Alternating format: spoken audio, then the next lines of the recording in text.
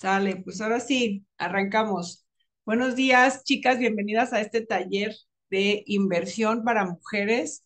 Es un tema que las que hemos estado leyendo el libro son temas que nos damos cuenta que pues realmente no, no circulan normalmente en las redes sociales. Es un tema que no nos enseñan en la escuela, que generalmente los papás tampoco nos enseñan y que es sumamente importante más en esta época en donde las jubilaciones ya no es una opción en donde cada vez sabemos más mujeres emprendedoras que necesitamos saber qué hacer con nuestro dinero, que necesitamos cómo armar un plan para retiro, porque ya depende de nosotros, ya es nuestra responsabilidad, ya el gobierno prácticamente no, no va a venir a darnos una mensualidad, necesitamos empezar a generarla por nosotras mismas. Así que, eh, pues vamos a comenzar con eh, conceptos básicos que necesitamos saber sobre el dinero.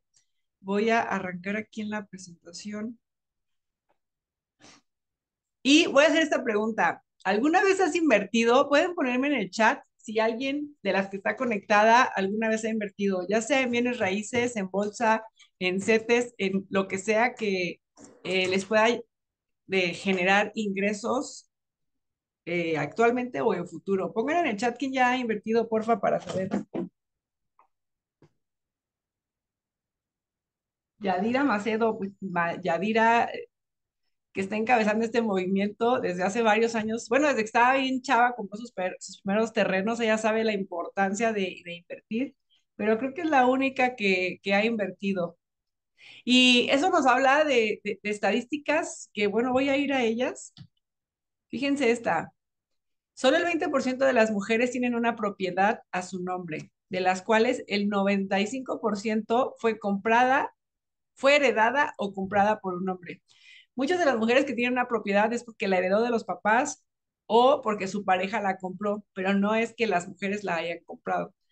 Y esto nos da que menos del 2% de mujeres han comprado una propiedad, por lo menos en México. Hay países en donde el número, el porcentaje es mayor, pero también hay países donde el porcentaje es menor.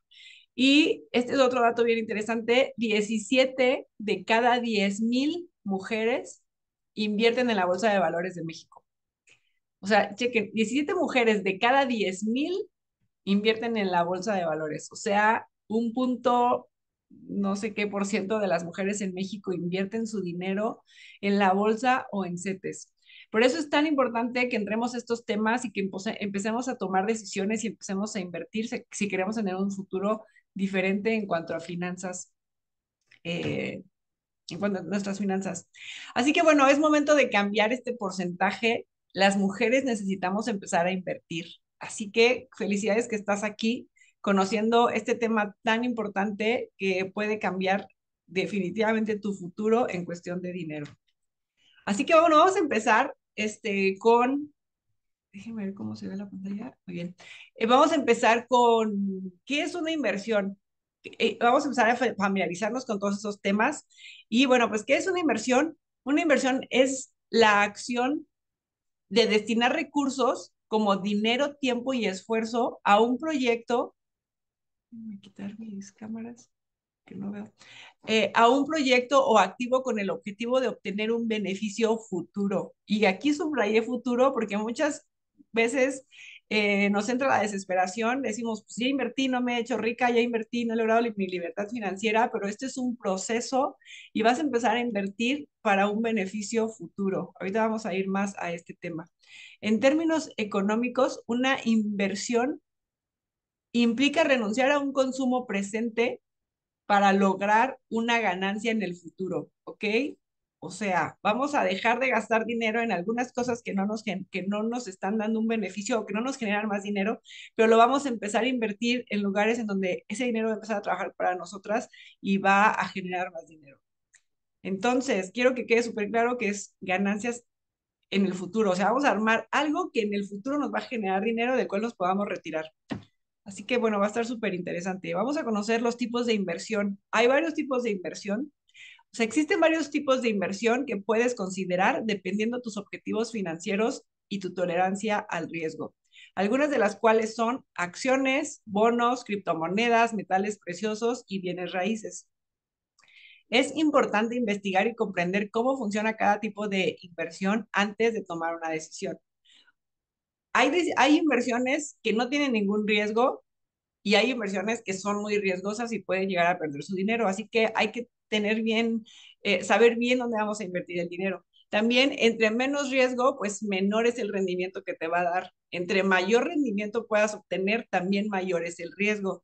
Así que por eso es súper importante que tengas un portafolio en donde tengas, eh, un portafolio de inversión en donde tengas invertido en diferentes cosas. O sea, no todo el dinero en un lugar, sino en varias opciones eh, para, para disminuir el riesgo, ¿ok? Que ahorita vamos a entrar a todo esto. Eh, en cuanto a bienes raíces, pues, ¿qué son las bienes raíces? Es invertir, invertir en bienes raíces es comprar propiedades. O sea, puedes comprar terrenos, departamentos, casas, locales comerciales que después puedes rentar. Todo esto con el objetivo de, obtener beneficios económicos. Eh, ¿Cómo podemos ganar dinero con propiedades? Puedes comprar y vender, adquirir una propiedad eh, a un precio bajo y venderla con su, cuando su valor haya aumentado. Aquí tienes una ganancia de capital, o sea, compro en 100, vendo en 130, ganaste 30 al venderla, ¿ok? Puedes alquilar, comprar una propiedad para alquilarla y obtener ingresos mensuales. Esto es, es bien padre porque tienes una, o sea, invertiste en una propiedad y después te, da, te paga una renta, eso es un ingreso pasivo. De una inversión que hiciste una vez, estás cobrando cada mes, cada mes, eh, pues cobras la renta de los inquilinos. Eh, puedes también hacer desarrollos inmobiliarios, invertir en proyectos de construcción desde cero como edificios de departamentos o centros comerciales. Ahí ya tú puedes eh, hacer un, un, desarrollo o participar en algún desarrollo y que, y que después puedas ganar dinero de ahí. Eh, puedes también hacer propiedades comerciales, que es invertir en propiedades destinadas a negocios. O sea, puedes eh, comprar un terreno, hacer locales comerciales y rentarlos. Ahí también estás teniendo un ingreso pasivo porque, por la, porque cobras la renta de esos, eh, de esos locales. Que bueno, eso es prácticamente como puedes ganar dinero teniendo propiedades. Invertir en bienes raíces, Invertir en bienes raíces es una forma efectiva para generar ingresos pasivos, ¿ok? Bueno, vamos a continuar para saber más. Pero, ¿qué es un ingreso pasivo? Aquí ya me lleva a lo que es a, un ingreso pasivo. ¿Qué es un ingreso pasivo? El ingreso pasivo es aquel ingreso que se obtiene de manera regular sin necesidad de trabajar activamente por él una vez que se ha establecido la fuente de ingresos. En otras palabras, es dinero que ganas sin tener que dedicarle tiempo y esfuerzo constante, ¿ok?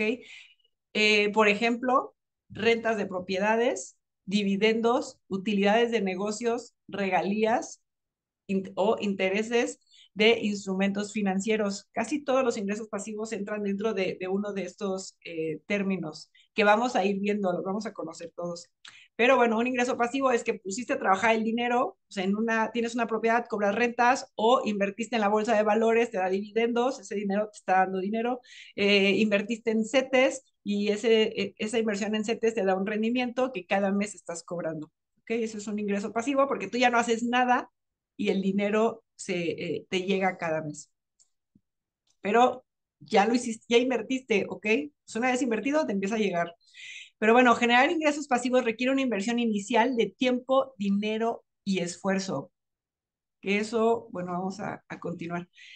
Pero necesita nuestro tiempo, necesita nuestro dinero, necesita nuestro esfuerzo, sí, por un tiempo que hay que estarle metiendo a las inversiones, pero después vamos a poder lograr lo que todas nos encantaría lograr, que es la libertad financiera. Y no está difícil cuando sabemos cómo hacerla, cuando tenemos un, un mapa bien marcado de hacia dónde queremos ir y cuando sabemos qué queremos, lo podemos lograr. Pero bueno, ¿qué es la libertad financiera? La libertad financiera es la capacidad de tener los ingresos suficientes para cubrir todas las necesidades económicas sin tener que trabajar. Y esto es sin tener la obligación de trabajar. Claro que cuando eh, ya tienes libertad financiera, puedes decidir trabajar o no, puedes decidir hacer un negocio o no, pero ya tienes opciones. Las que están leyendo el libro de Mujer Millonaria eh, pues han, han, escuchado muchas historias o han leído muchas historias de mujeres de, eh, de, su relación con el dinero, de cómo ha sido su vida, de las que tienen que trabajar, porque pues, si no trabajan no, no, no comen o no pueden mantener a sus hijos. Y pues Kim Kiyosaki, que puso a trabajar su dinero y a los 37 años logró su libertad financiera.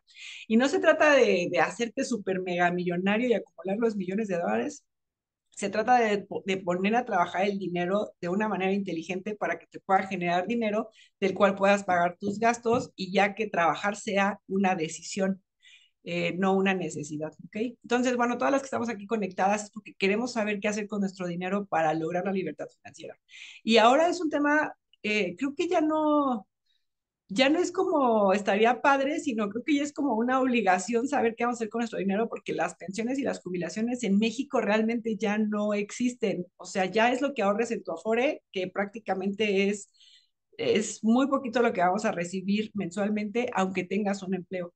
Pero si eres emprendedora, ah, con más razón tienes que saber qué hacer con el dinero, porque así como lo ganamos, lo, gastamos.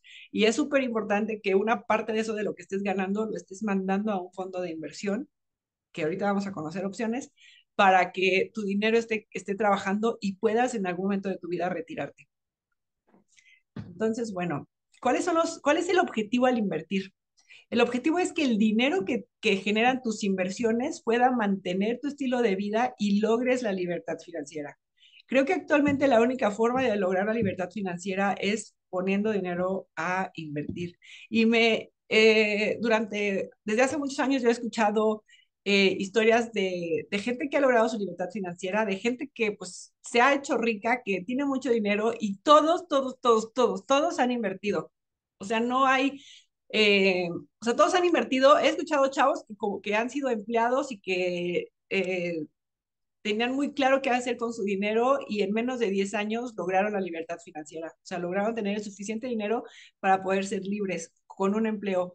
Eh, he escuchado otros chavos que son emprendedores y que también lograron su libertad financiera y de, de ser emprendedores quebrados, o sea, de ser quebrados a millonarios. Entonces, eh, no importa si tienes un empleo o si, o si, eres emprendedora, si tienes un negocio, todas podemos lograr la libertad financiera, pero tenemos que tener bien claro qué hacer con nuestro dinero y el camino es invertirlo. O sea, creo que no hay otra, porque si no lo tenemos invertido, no, ya no lo gastamos. Y, cuando te lo gastas, ya no hay forma de que tu dinero genere más dinero, solo invirtiéndolo. Bueno, voy a continuar aquí para que todo quede más claro. Pero esta, voy a esta pregunta. Si ya sabemos que las inversiones son las que nos pueden llevar a la libertad financiera, que las inversiones son las que hacen que nuestro dinero crezca, ¿por qué las mujeres no, no invierten? ¿Por qué las mujeres no invertimos? ¿Alguien tiene esta respuesta? ¿Alguien quiere comentar algo sobre por qué no han invertido ustedes? ¿Alguien quiere comentar? No sé si quieren abrir micro o escribir. Las que no han invertido, ¿por qué no han invertido? ¿O alguna vez han escuchado que, invertir es bueno, que, pues, que, hay que invertir para tener más dinero? ¿Lo han, ¿Eso lo habían escuchado antes? Que es súper, es, es importante invertir. ¿Alguien quiere abrir micro? Karen, si quieres abrir micro y platicarnos, ¿qué has escuchado de las inversiones y por qué no has invertido? Karen dice que por miedo. ¿Alguien más quiere comentar? A ver, Karen ya abrió micro. Adelante, Karen.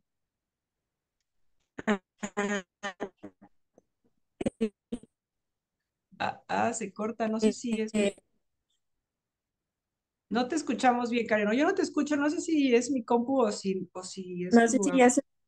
Ah, ya creo que ya se escucha mejor.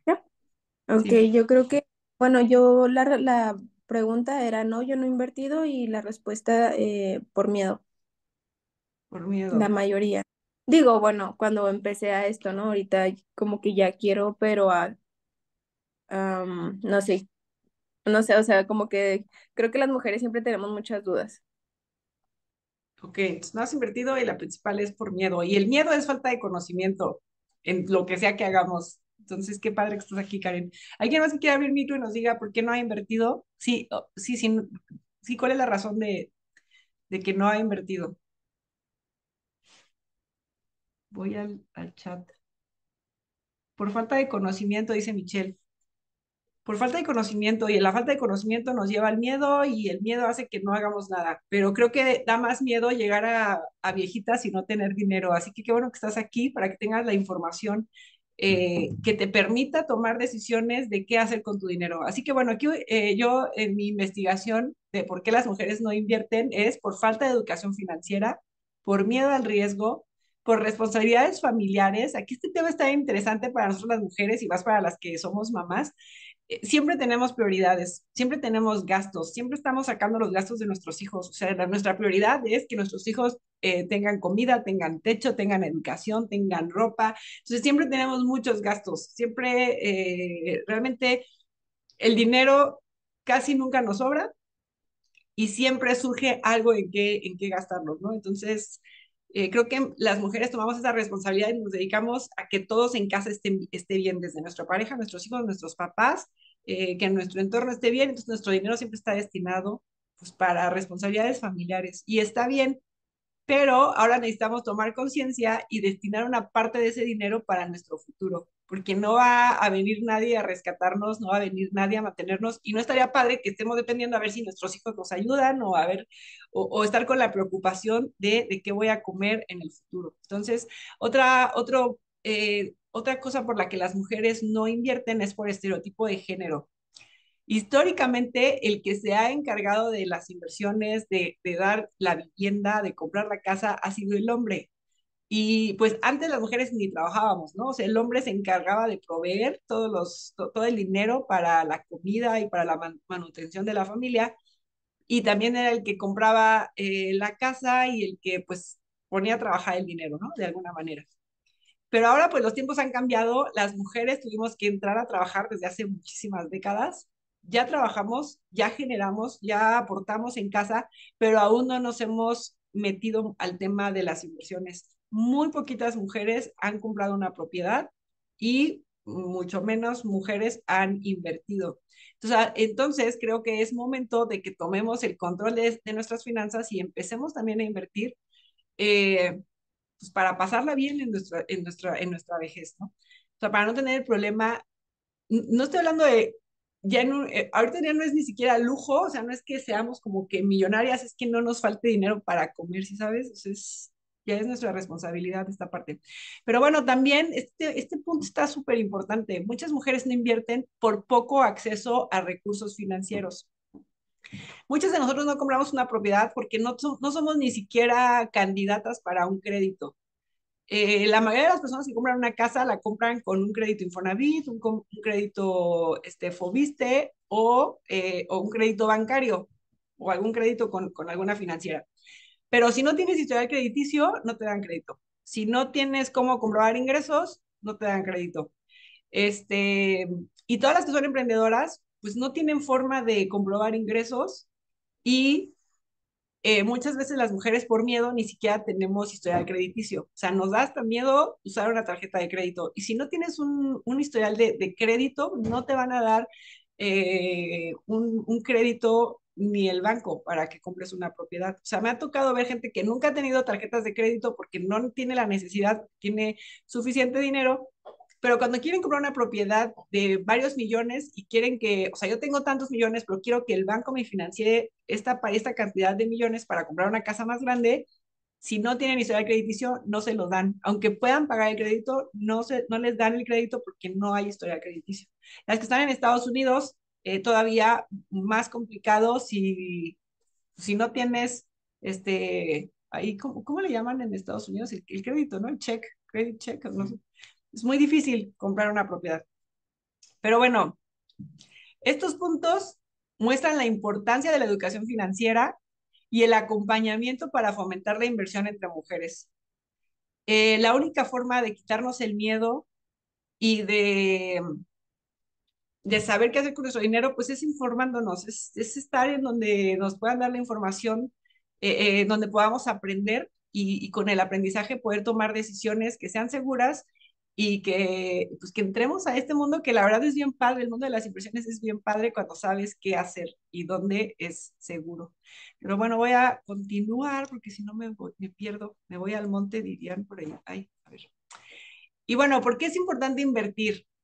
Invertir es fundamental para, la, para alcanzar tus objetivos a largo plazo.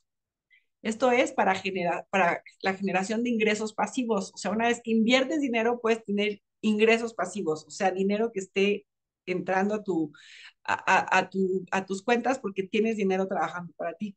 La otra es la protección contra la inflación, que este es un tema que hasta le puse un asterisco porque muchas veces no entendemos la inflación, solo nos damos cuenta que cada vez el dinero nos alcanza para menos. Ahorita voy a hablar un poco más de, de lo que es la, la inflación. Pero bueno, otro punto importante para invertir es lograr nuestros objetivos financieros. Eh, probablemente tu meta sea lograr la libertad financiera o comprarte una casa, por ejemplo. Entonces, para comprarte una casa necesitas por lo menos uno, dos, tres millones, dependiendo de qué casa quieras, pero a veces decimos, Uta, ¿cómo voy a llegar a un millón o cómo voy a llegar a dos millones? Entonces, la forma de llegar es empezar a invertir, aunque sea en algo chiquito, y empezar a crecer tu dinero y con los años vas a poder tener el suficiente capital para lograr tus, tus objetivos. Eh, otro objetivo financiero a lo mejor puede ser la universidad de tus hijos. A lo mejor tus hijos ahorita están chiquitos y en un futuro quieres que vaya a una buena universidad, pero pues sabes que las universidades son caras, entonces, ¿qué puedes hacer? Pues tengo inver dinero invertido porque en 15 años ese dinero va, me va a dar, va, o sea, se va a convertir en tanto dinero y con eso voy a pagar la universidad de mi hijo. Entonces, in, eh, eh, invertir es, es este, eh, pues te ayuda para, para lo que quieras, o sea, a empezar a crecer el dinero para lo que sea que, eh, que tú quieras hacer en un futuro, ¿ok? Desde comprarte una casa, pagar la universidad, hacer el viaje de tus sueños, comprarte el carro que quieres, lo que sea que quieras comprar, pues necesitas tener ese dinero eh, trabajando para que te dé el dinero y no te endeudes. Eh, la otra, pues invertir es una herramienta poderosa para construir un futuro financiero sólido y alcanzar tus metas. Ah, bueno, aquí ya me adelanté, mira. Tus metas como comprar una casa, pagar la educación de tus hijos o asegurar una jubilación cómoda. Ese tema es súper importante. El tema de la jubilación, o sea, que no tengas bronca de dinero en el futuro. Pero vamos a continuar eso. Ahorita vamos a ir al tema de la jubilación más de fondo, pero quería llegar aquí a la inflación, porque pues todos escuchamos la inflación, pero a veces no la entendemos, no sabemos bien.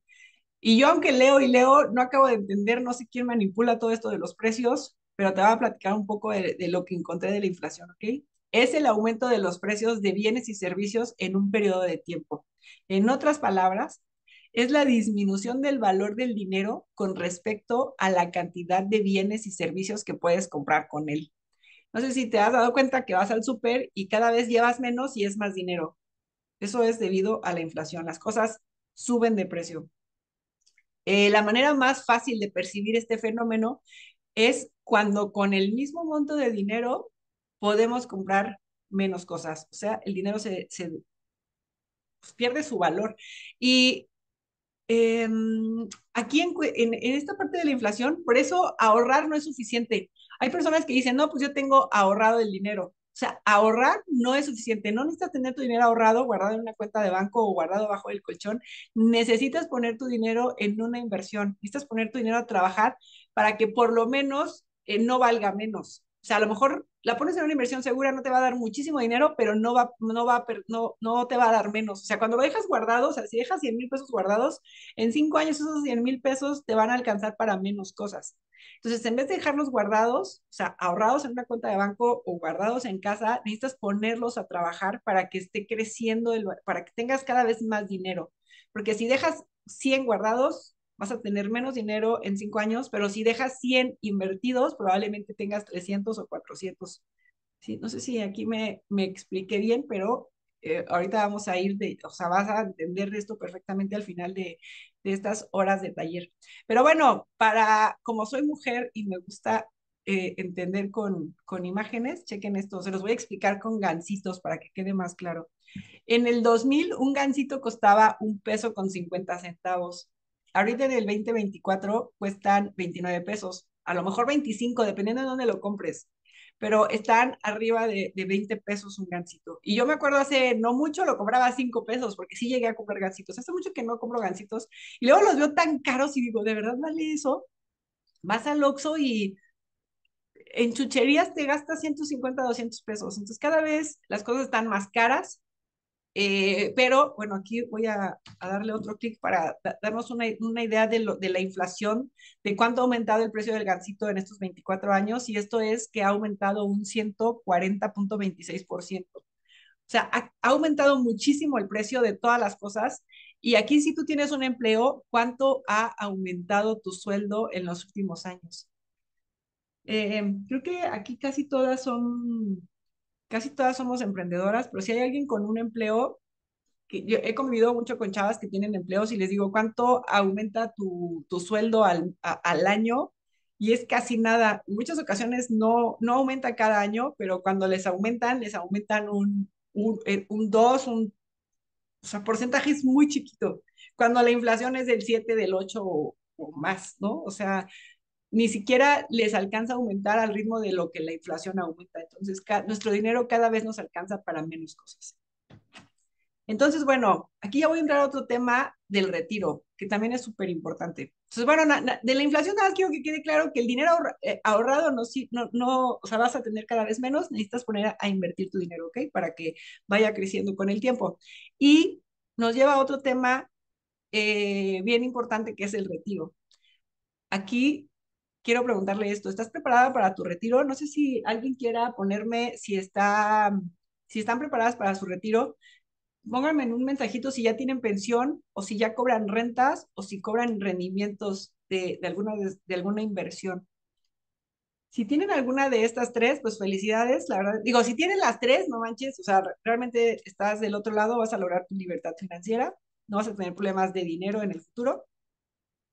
Eh, no, no estoy preparada para mi retiro, dice Michelle.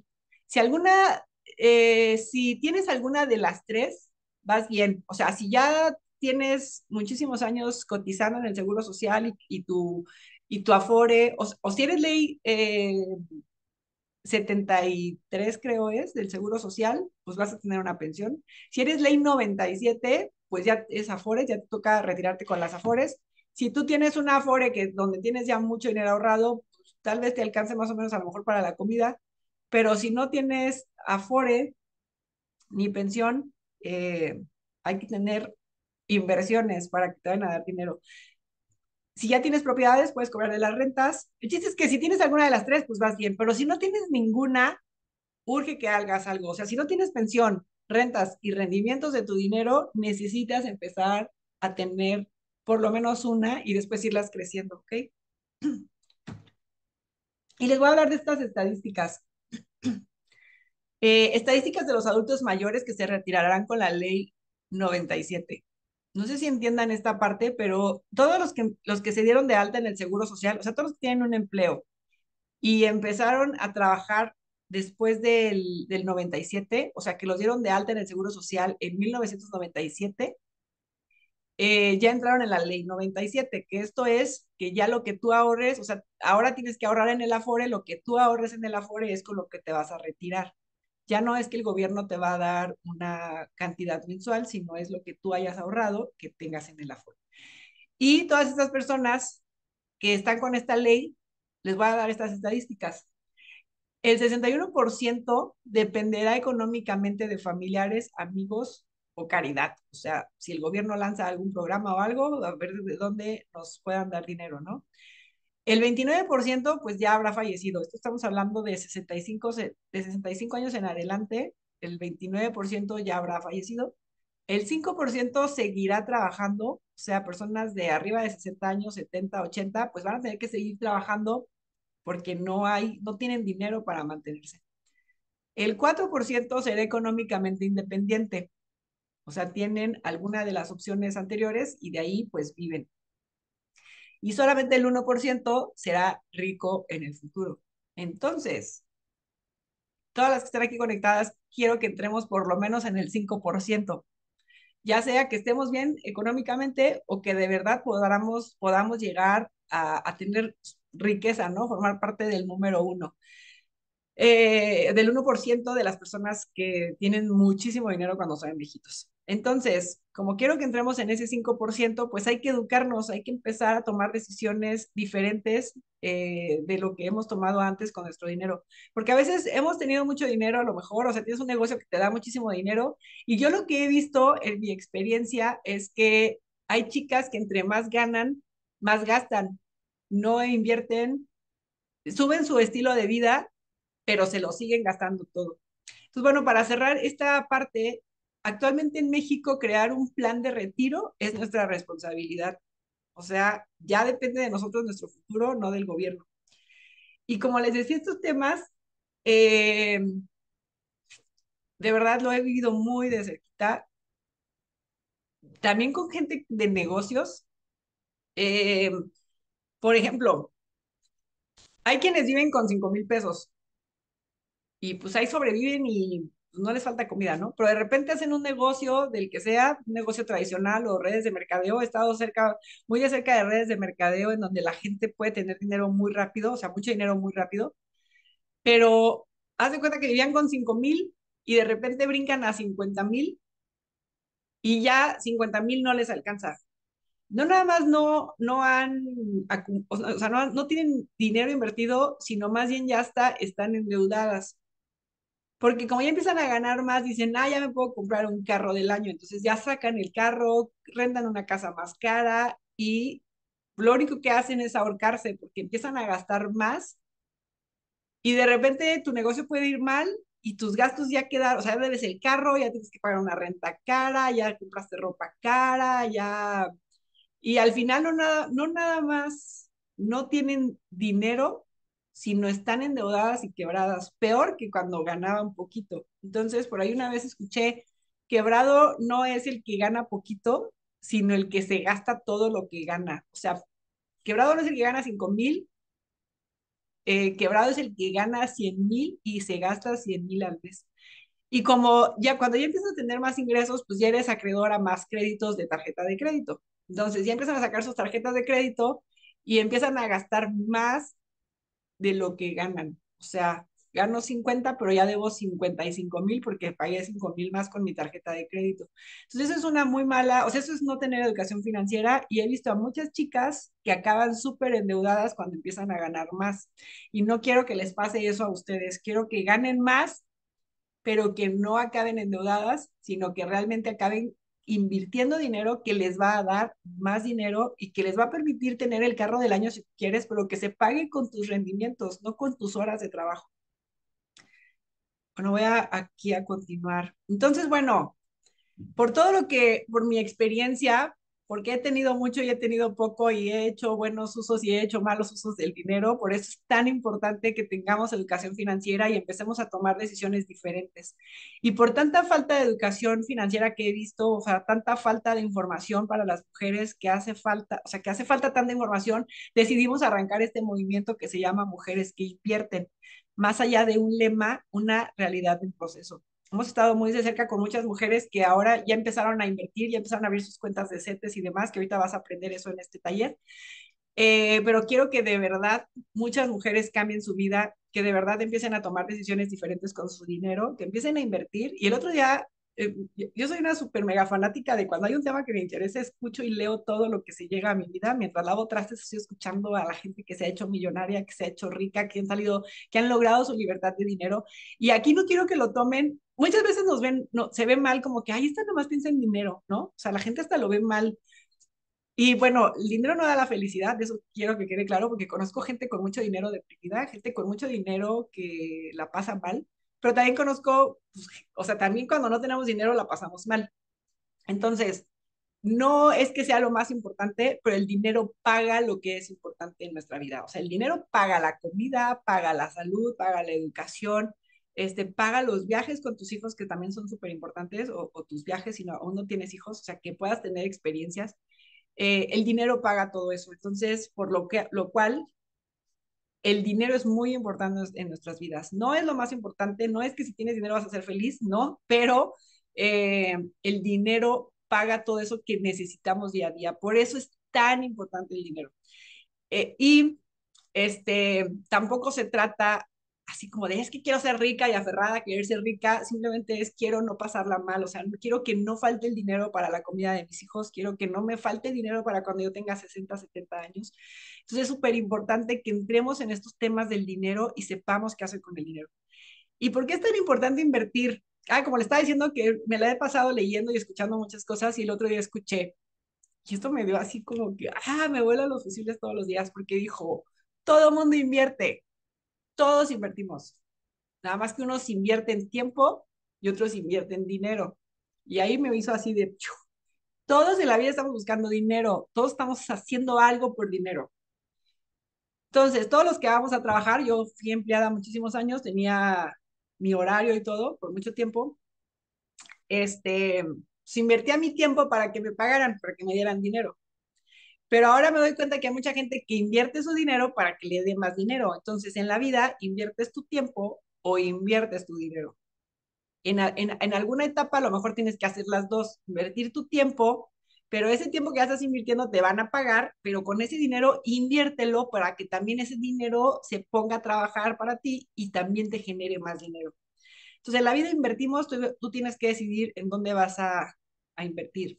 Y en cuestión de, del dinero, que pues sé que no es lo más importante, pero la libertad financiera eh, no nada más es como querer acumular dinero, sino cuando tienes libertad financiera, tienes tiempo para hacer lo que realmente es importante para ti. Muchas veces como mamás, las que tienen hijos, se nos va la vida trabajando y nunca disfrutamos a nuestros hijos. Se nos va la vida trabajando y no pudimos ir a lo mejor a ese festival que era súper importante o no podemos hacer esos viajes o no podemos ir a esas reuniones familiares porque tengo que trabajar. Entonces, al final de cuentas, el tiempo es súper importante. Dinero podemos generar más en cualquier momento, pero tiempo no podemos generar más. Entonces, por eso es tan importante trabajar para tener libertad financiera eh, y lograr tener tiempo y dinero, o sea, las dos cosas al mismo tiempo porque muchas veces estás en un empleo y dices, pues es que aquí gano súper bien y estás así, trabaja y trabaja y trabaja por dinero, pero te estás perdiendo la vida. Entonces, quiero que aquí tengamos las dos cosas, tengamos el tiempo y el dinero suficiente para hacer lo que queramos. Y también escuché esta que me encantó, en la vida hay que pagar el precio, o sea, a lo mejor ahorita vas a tener que dejar de gastar en algunas cosas por empezar a invertir tu dinero. Eh, pero decía, quiero pagar el precio para poder pagar el precio que sea después. Entonces eso me encantó, eso significa que voy a dejar de comprar algunas cosas que ahorita quiero comprar, pero porque voy a empezar a invertir dinero, porque en el futuro quiero que no importe el precio, lo pueda comprar. Y eso te lo da las inversiones. Voy a seguir antes de, que me pierda otra vez. Este, uh, ¿Qué tal esto, esta información que les he dado? O sea, ¿tienes, ¿hace sentido en tu vida? O sea, ¿te hace así como un clic de decir, pues sí tengo que tomar las decisiones, tengo que hacer algo con mi dinero? Eh, te pone a pensar en el retiro. No sé, aquí, eh, toda esta información que les he dado, las estadísticas, ¿qué, qué les parece? ¿Cómo van? ¿Cómo, ¿Cómo van ustedes? Me pone a pensar en todo, dice Karen. Es que de verdad, son temas que no los tocamos y que ahí la llevamos día a día y generando dinero para el mes, pero nunca nos ponemos a pensar para nuestro futuro y es súper importante que estemos listas para el futuro. Pues, bueno, voy a continuar un poquito más. Eh, aquí, esta parte de gastos hormiga me, me, me, me encantó porque pues estuve investigando eh, muchas cosas para hacer este, para sacar información para talleres que hemos estado dando y llegué a este punto de los gastos hormiga. Estos gastos son compras tan pequeñas como las hormigas que pasan desapercibidas, pero que juntas pueden representar o un gran gasto o una gran oportunidad de ahorro. Los gastos hormiga representan hasta 32 mil pesos anuales. De acuerdo con cifras del Instituto Nacional de Estadísticas y Geografía, o sea, el INEGI, en México, el 50% de la gente gasta en cosas que no tenían planeadas y los gastos hormiga pueden llegar a representar el 12% de sus ingresos. Y ahí está la fuente de, de lo saqué.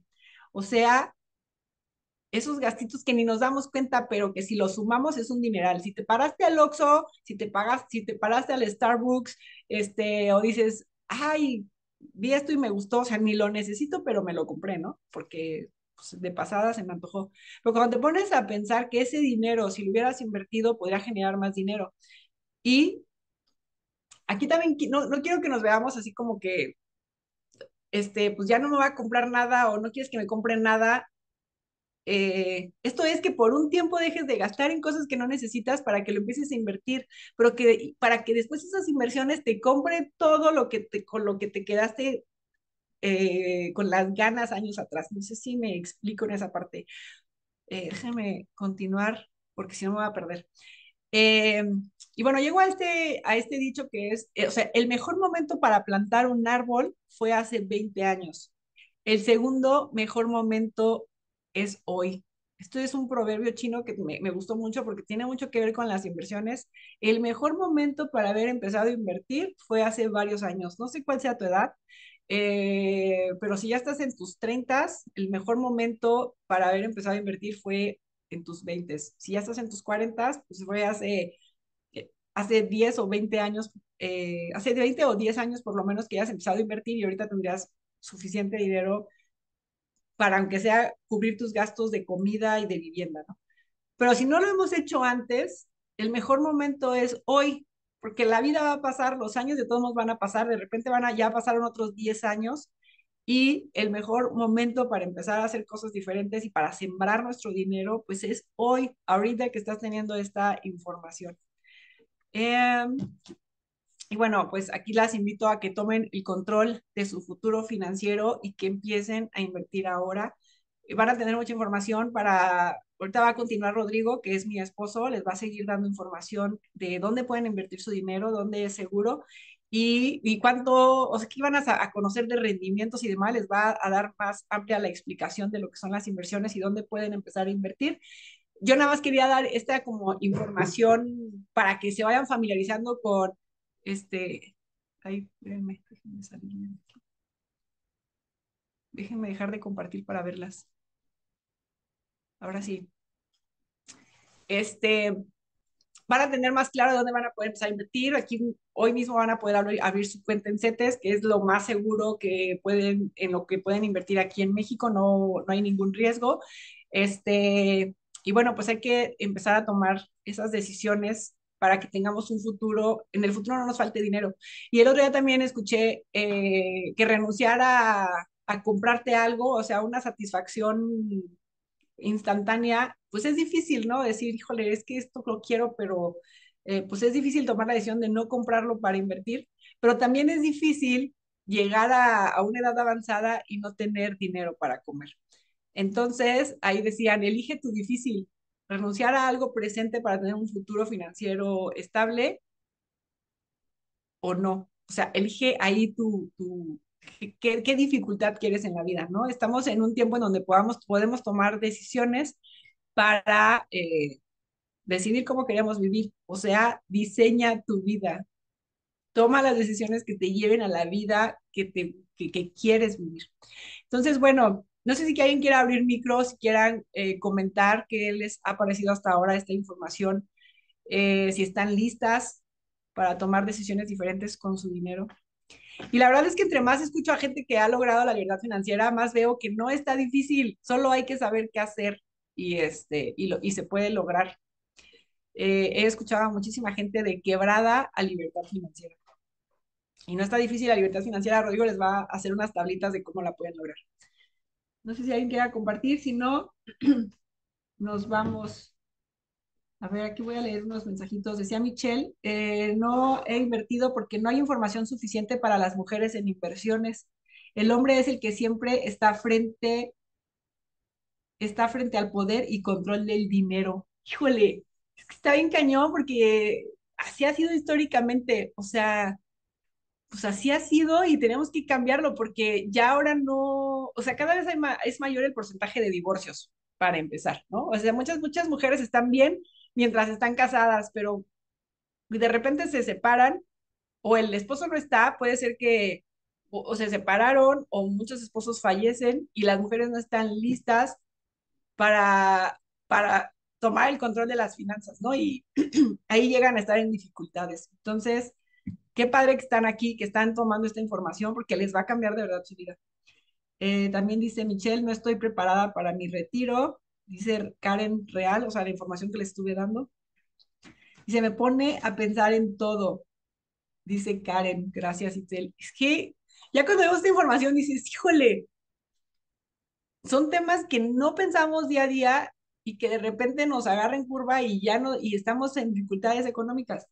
Dice Michelle que es CETES. Ahorita lo vamos a ver, Michelle. Ahorita Rodrigo les va a explicar y les va a enseñar dónde pueden empezar a invertir su dinero. Entonces, bueno, para ya no irme más allá, les voy a, a dejar con Rodrigo. Él es eh, Rodrigo Arvide, mi pareja de vida, mi pareja de éxito. Este, juntos eh, hemos ayudado a muchísimas personas a cambiar primero su mentalidad durante muchos años nos, hemos, tuvimos un movimiento donde mujeres cambiaron su mentalidad, su físico y estuvo súper padre, pero ahora estamos entrando al mundo de las inversiones que nos mega encanta porque ahora queremos ayudar a muchas mujeres a que tengan eh, un futuro financiero diferente, a que empiecen a tomar decisiones diferentes con el dinero que están generando. Entonces, bueno, las voy a dejar con Rodrigo. Este, esta parte ya va a ser más, este, más práctica. Van a empezar a sacar más números de ustedes y bueno, pues las dejo con él. Adelante, Rodrigo. Muchas gracias, chicas. Ahorita regreso.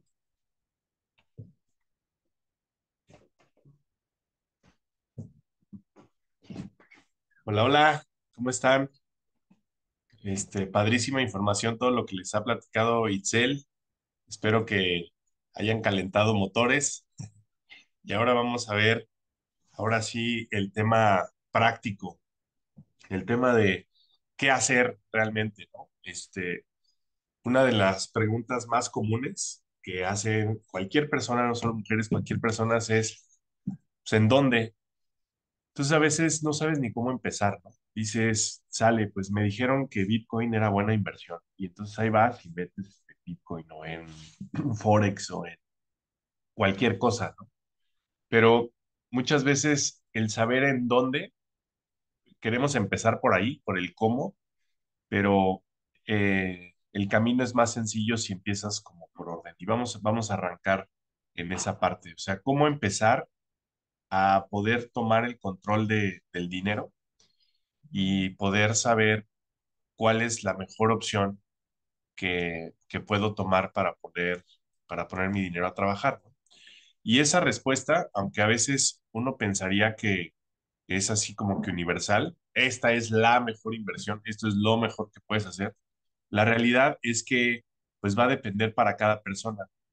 Entonces, el objetivo que tengo para, para esta sesión es que eh, cada una de ustedes, cada una de ustedes pueda tener las herramientas eh, para poder definir cuál es la mejor opción para cada una. O sea, que, este, que puedas hacer tu plan personal para ti no tiene que ver qué es lo que opine yo o qué es lo que salga en las noticias o qué es lo que te diga tu tío, el que siempre tiene opiniones, sino que tú tengas las herramientas para poder definir en dónde vas a poner a trabajar tu dinero.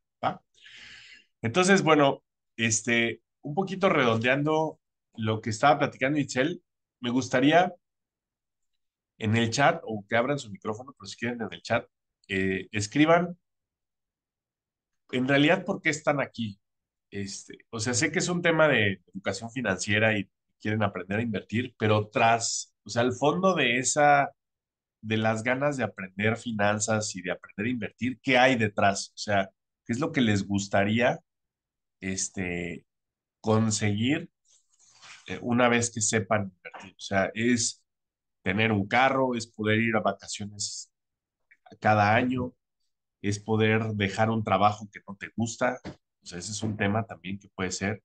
O es que, este, pues, poder tener esa sensación de, libertad y de independencia. O sea, que independientemente de que tengas una pareja ideal que quieres mucho o no, no sé, pero que puedas tener esa independencia o de tus papás, no lo sé.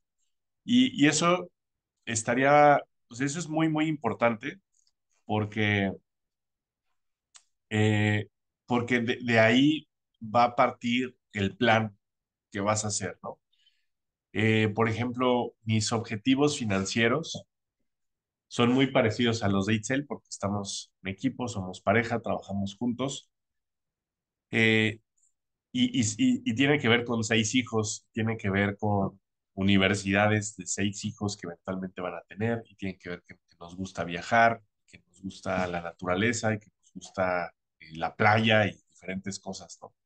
Y esos objetivos, pues, son muy diferentes a los que a lo mejor un, chavo de 19 años va a tener, ¿no? A lo mejor eh, una persona muy joven que va arrancando, pues todavía no tiene dentro de sus planes una familia o todavía pues, no está pensando en retirarse porque pues, va empezando. Y a lo mejor lo que quiere es, me gustaría poder dedicarme a lo que me gusta eventualmente tener mi negocio y no tener que tomar una decisión este, de trabajar en un lugar en donde no me gusta nomás porque me alcance.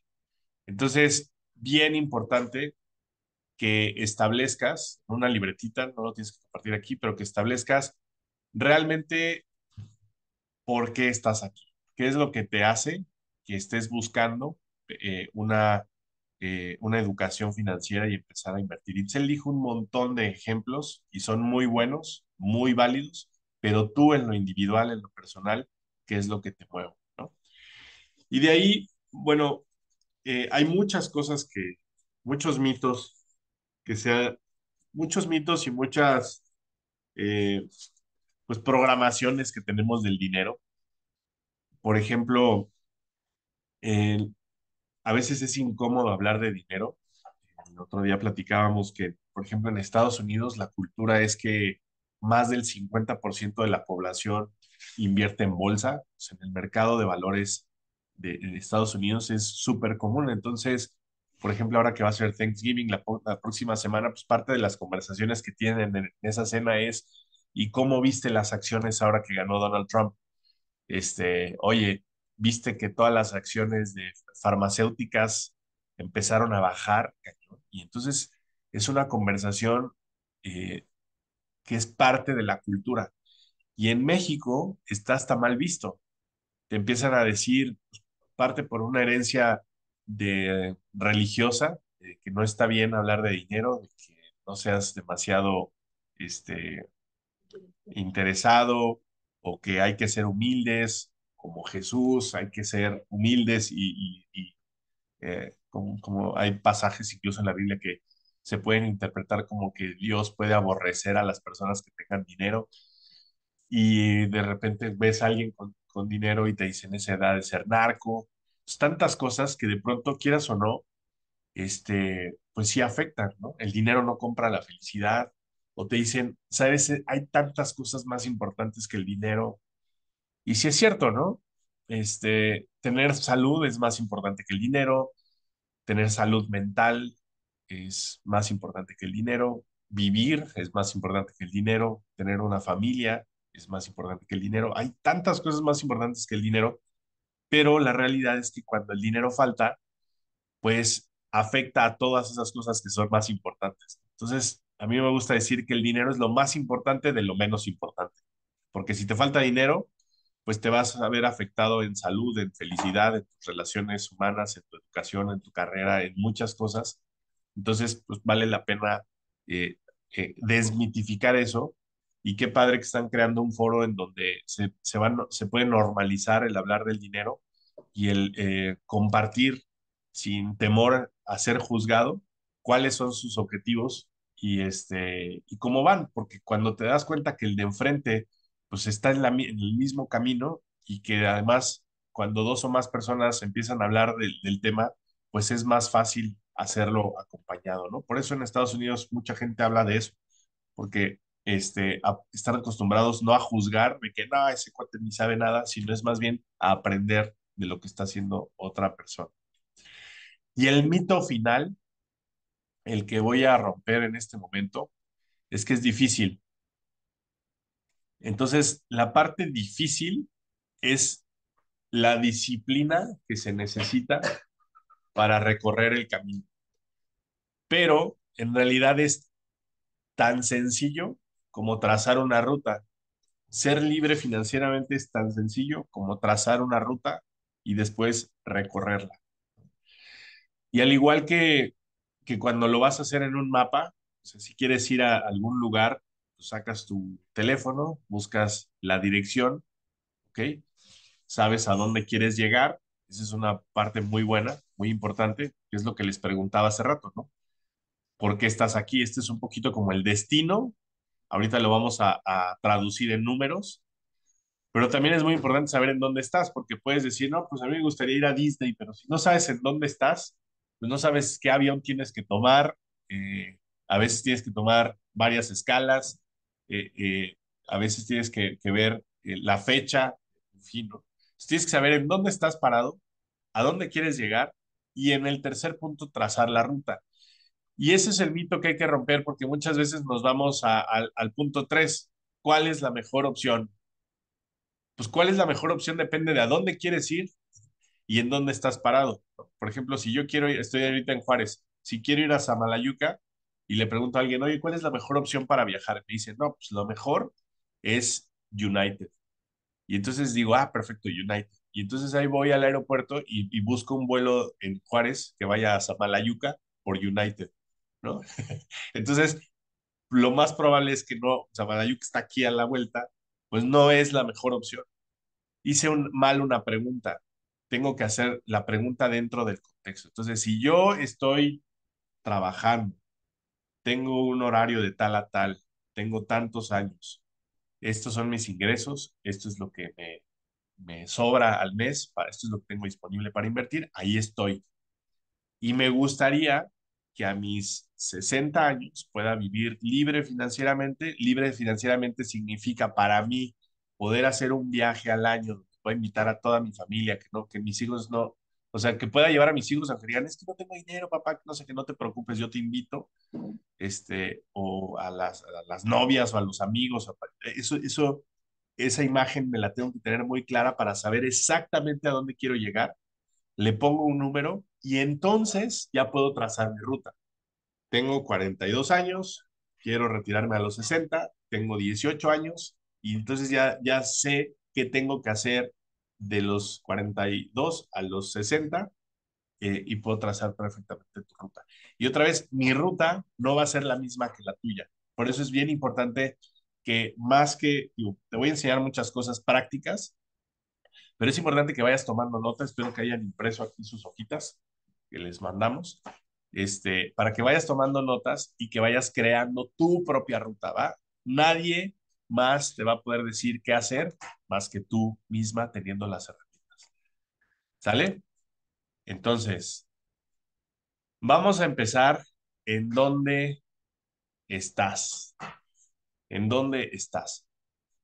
Bueno, esto que ven aquí es una hoja que se utiliza como herramienta para un juego que se llama Cashflow. ¿Ok? Todo lo, creo que todos están aquí en Juárez, no sé, pero los que estén en Juárez, este, vale mucho la pena que organicemos una jugada de Cashflow. Si no estás en Juárez, te puedes meter a, a la página de Robert Kiyosaki eh, o busca Cashflow online y te va a aparecer, puedes jugar este juego en línea. Es un juego de mesa que te ayuda a aprender los diferentes tipos de inversiones que se pueden hacer en el mundo y también que puedas tener ciertos conceptos de este, finanzas personales, ¿no? Entonces, échenle un ojo aquí. Eh, esto es una, unos estados financieros personales, ¿ok? Esa hoja también viene dentro del, del, este, del handout que les mandamos.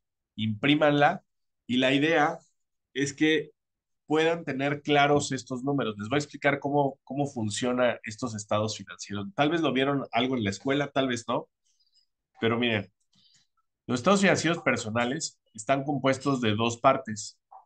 Primero es el estado de resultados, que es básicamente cuánto ganas y cuánto gastas.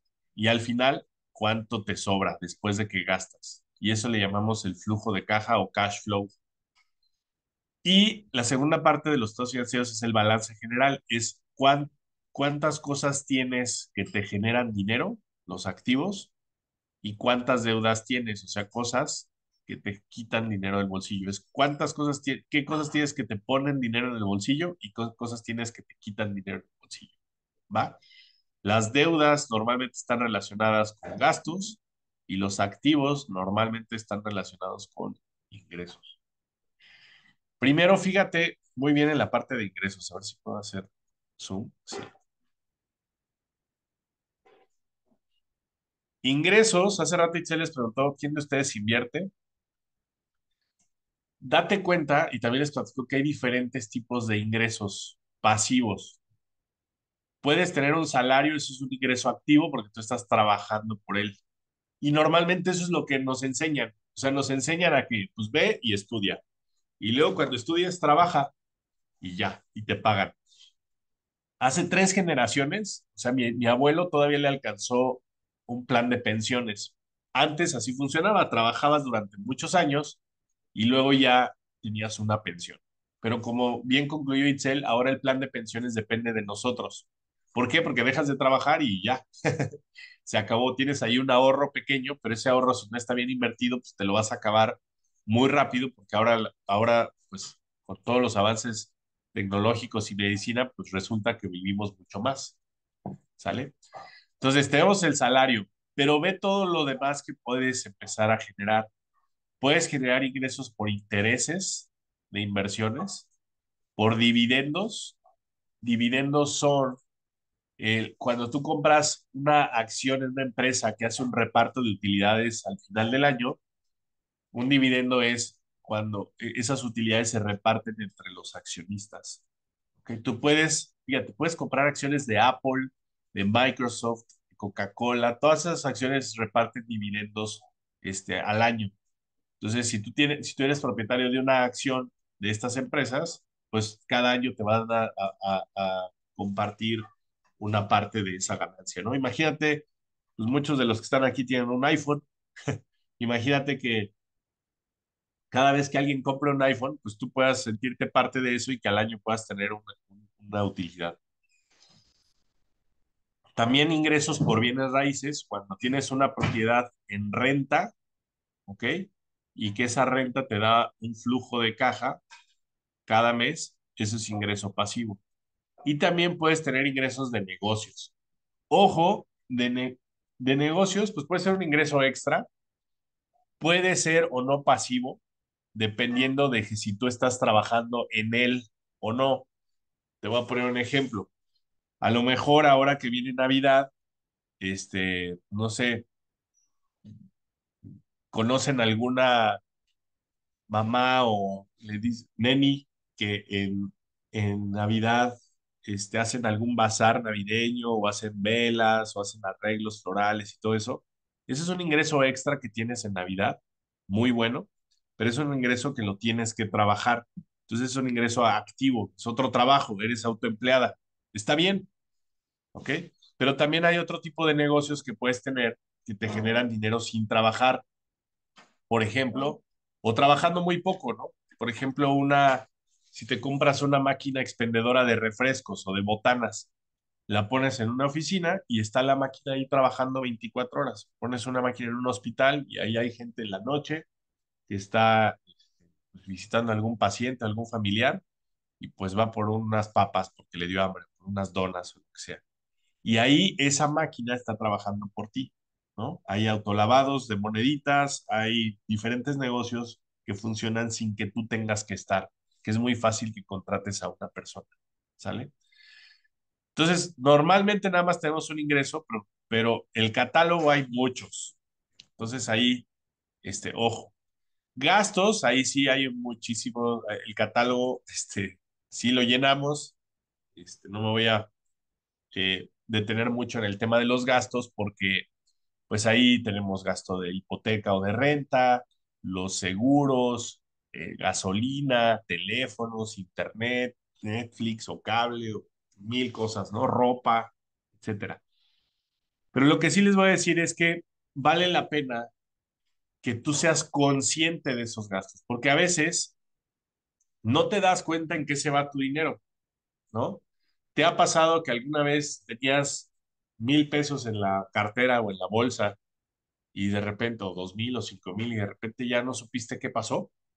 Este, sobre todo, por ejemplo, cuando empieza la temporada escolar, pues piden que... Ay, perdón. Piden que, este, que unas cartulinas, que unas libretas, que, y, y, no sabes si de repente se va, se va, se va, se va, se va, se va, se va, y, y la fiestita, y etcétera.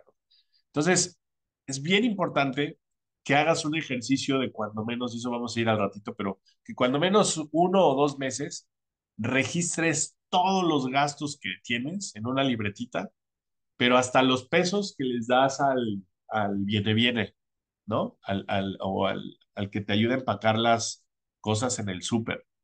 Porque la idea es que tú sepas exactamente en qué estás gastando tu dinero. A veces te, te puedes dar cuenta de que, digo, ir al Starbucks una vez con tus amigas y pasarla bien está padre, pero si de repente te das cuenta que te gastas dos mil pesos al mes en un Starbucks, en el Starbucks, pues a lo mejor dices, oye, tal vez puedo reducir ese gasto a la mitad, sigo viendo a mis amigas, pero a lo mejor no me gasto dos mil, y esos mil pesos extra al mes, pues, ¿qué puede representar en mi vida futura financiera?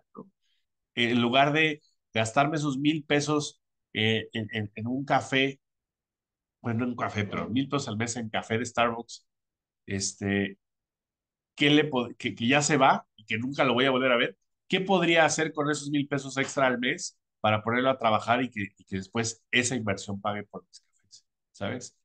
Eh, y, y, poner, y, cafés es un decir, o sea, eh, a veces es salida nocturna con los amigos, a veces es, eh, no sé, la, entre mujeres es muy común que cuánto invierten en temas de belleza, o sea que es importante, yo lo sé, uñas, cejas, este, extensiones y todo eso, pero también que seas consciente de cuánto estás invirtiendo en tu imagen, porque tu imagen, pues eventualmente, pues vas a envejecer.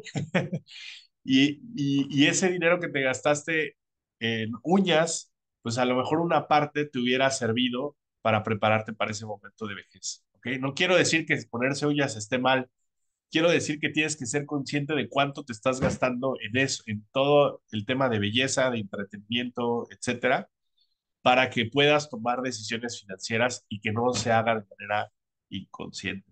¿Sale? ¿Qué creen? A ver, pregunta, pónganla en el chat.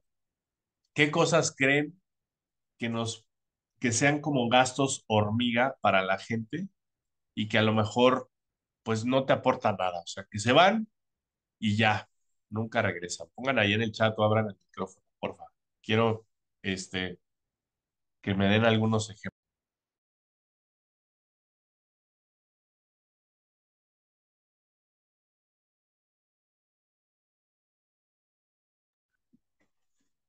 cosas que ustedes creen que eventualmente, o, o, es más, que ni siquiera estén seguros, pero que digan, yo creo que valdría la pena echarle un ojito cuánto me gasto en el cabello, en el tinte, por ejemplo. Este, uñas cada dos semanas, Starbucks, salón. Fíjate, uñas cada dos semanas. Yo no tengo idea de las uñas, ¿no? Nunca me he puesto gelish ni nada de eso, pero este, tan solo el hacer el análisis de, a ver, ahorita me estoy poniendo uñas cada dos semanas. ¿Qué tal si me pongo cada tres? ¿Sería muy terrible? ¿Se vería muy feo? ¿O sería algo que puedo hacer? ¿O qué tipo de uñas me puedo poner para que me duren a lo mejor cuatro semanas? Y en ese ahorro de la mitad, este, puedo poner a trabajar ese dinero. Starbucks para tu hija. bueno, ahí está Fíjate, Michelle, gracias por compartir eso. También es una muy buena oportunidad que le podamos enseñar a nuestros hijos que se administren, ¿no?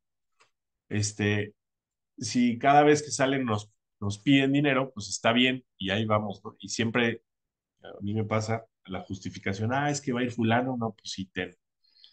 Pero, ¿qué tal si le decimos, si le asignamos un presupuesto a nuestros hijos y le decimos, a ver, pues te va a tocar 500 pesos al mes o 1000 pesos al mes.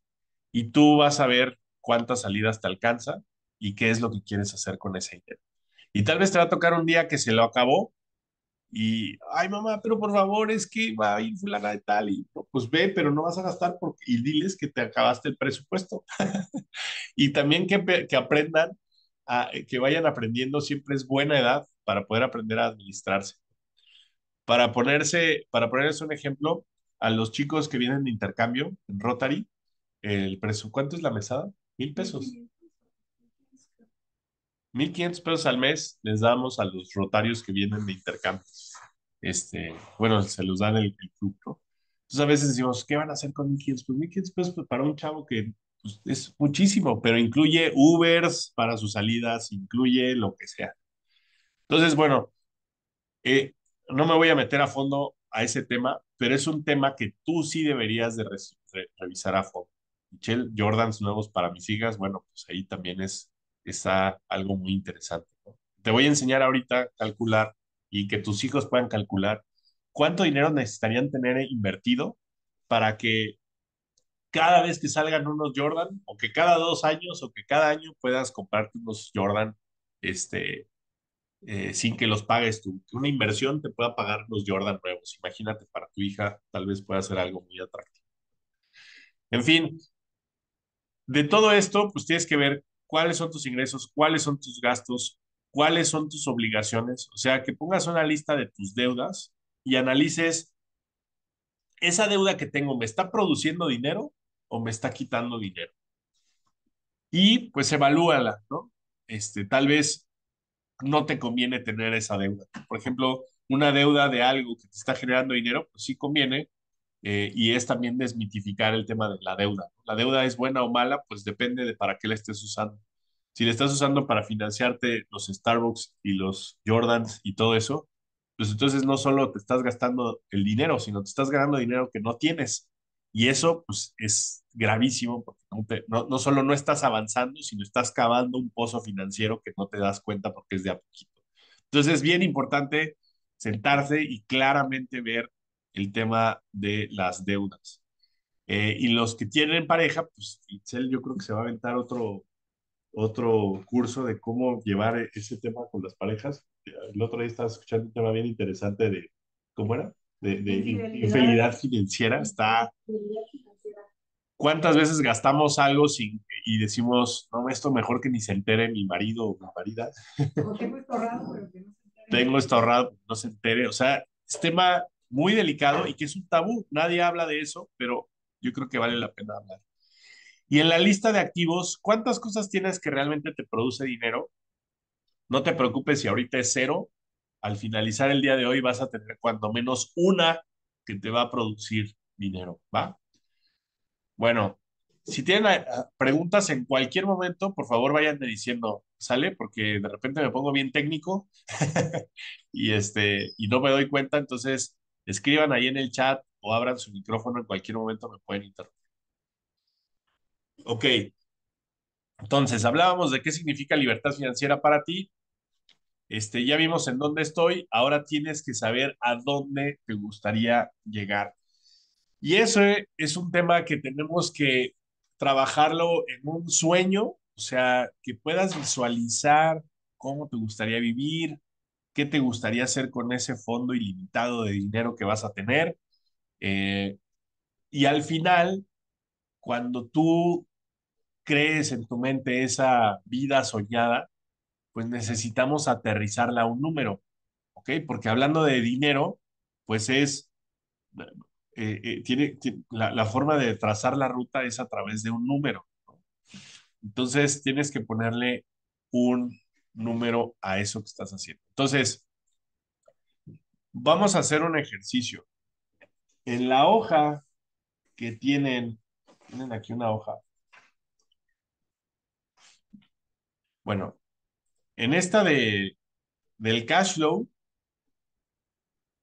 quiero que lo, que lo hagan muy conscientemente después en su tiempo libre, pero ahorita que pongan aquí total de gastos, nada más pongan el total de gastos, ¿cuánto creen que, necesitan de gastos mensuales para poder estar tranquilos. O sea, no me pongan ahorita, me gustaría ganar 800 mil pesos al mes, ¿no?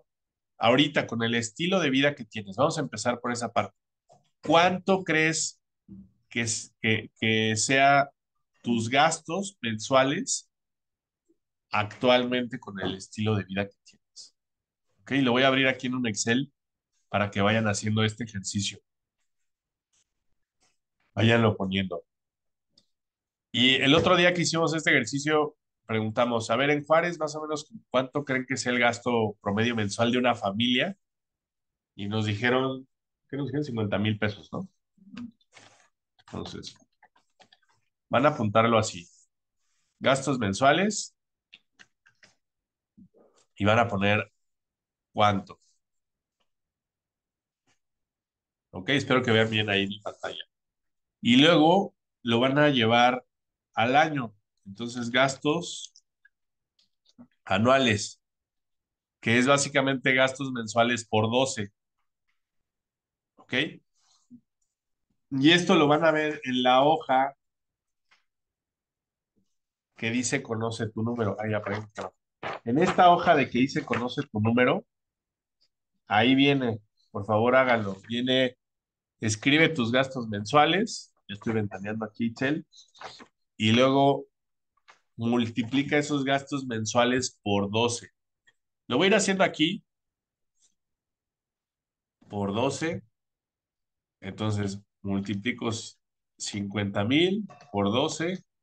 Son 600 mil pesos al año, suponiendo. ¿Ok? Pónganme ahí en el chat, porfa, si ya lo hicieron. Pongan ya, ya, ya. Si no, voy a dar ahí un tipo. Excelente. Eh, entonces, ahora va la pregunta. Si yo me gasto 600 mil pesos al año, ¿cuánto necesitaría tener invertido para poder generar al menos esos gastos al año?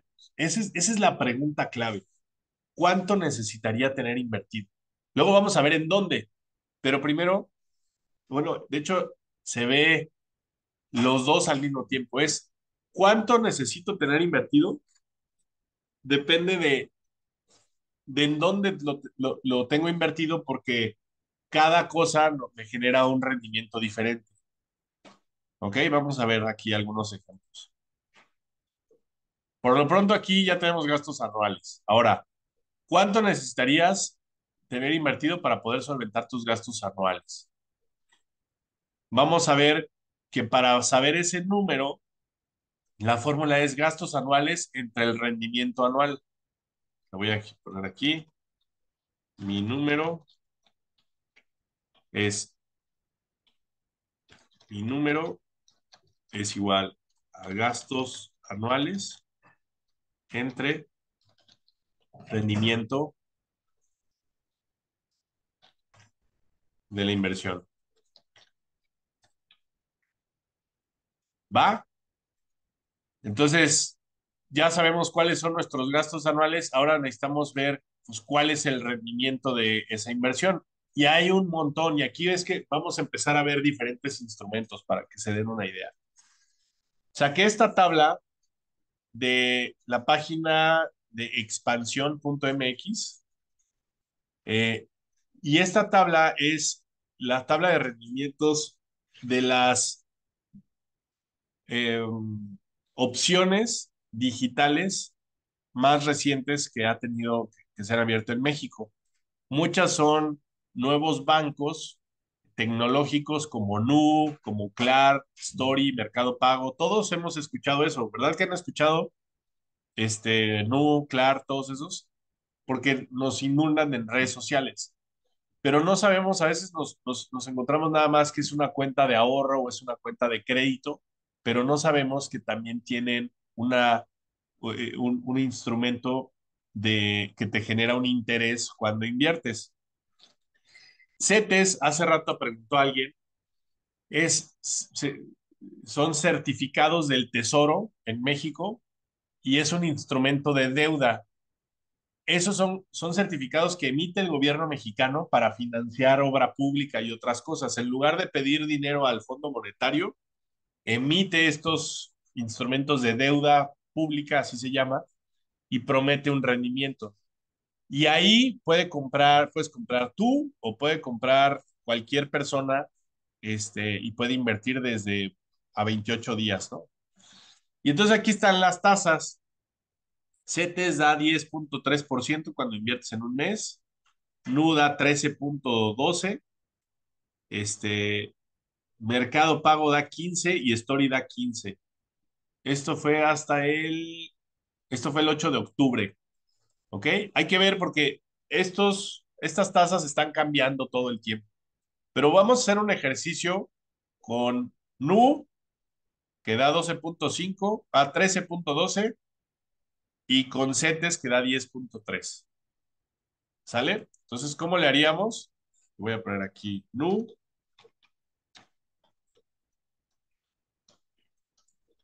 CETES. CETES da 10.3 ciento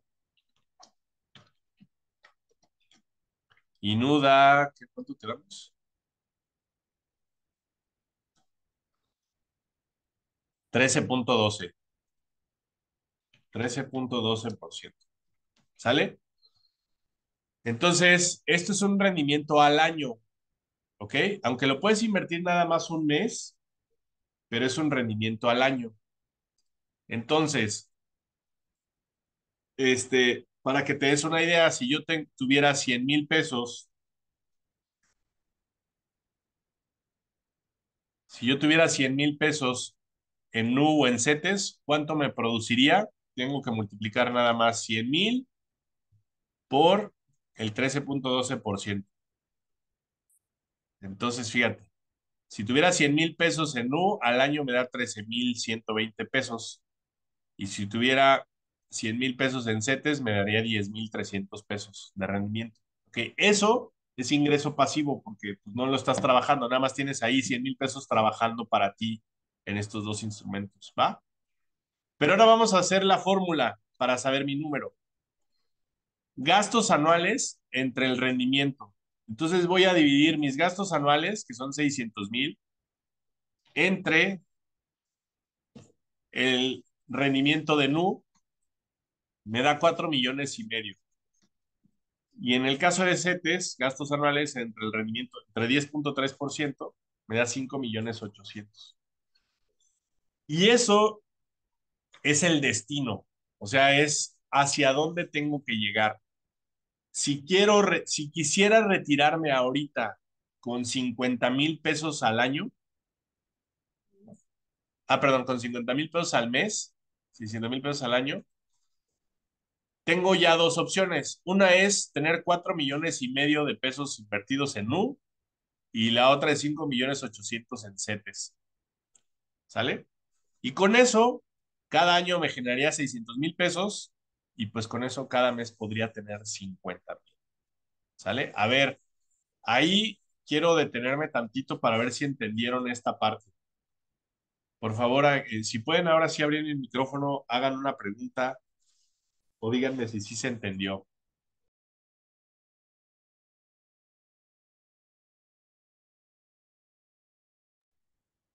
Buenos días, Ro. Oye, yo me perdí en, me quedé en mis gastos anuales entre el rendimiento de inversión. Supe cuánto era como sacar el porcentaje de, del rendimiento de CETES, por ejemplo, pero ya no supe en qué momento quedó 5 millones 800. Súper bien. Tienes que dividir, haz de cuenta que haces la división así. Este, tus gastos anuales, por ejemplo, en este caso 600 mil, voy a poner así, 600 mil y luego lo divides entre, por ejemplo, NU, que es el 13.12%. Haces una división. ¿Sale? Ahí, si lo estás haciendo con calculadora, este, a ver. Lo puedes ver así, 600 mil y lo divides entre 0.1312. Porque ese es, o sea, 0.1312 es lo mismo que 13.12%.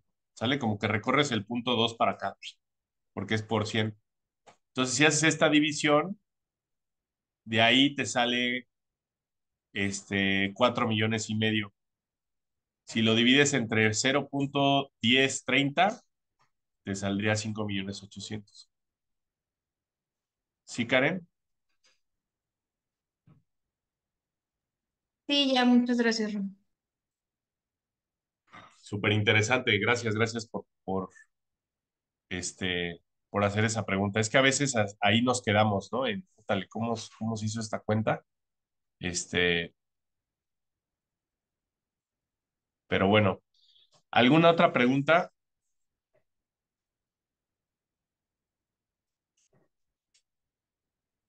¿Ya sacaron ahí su número?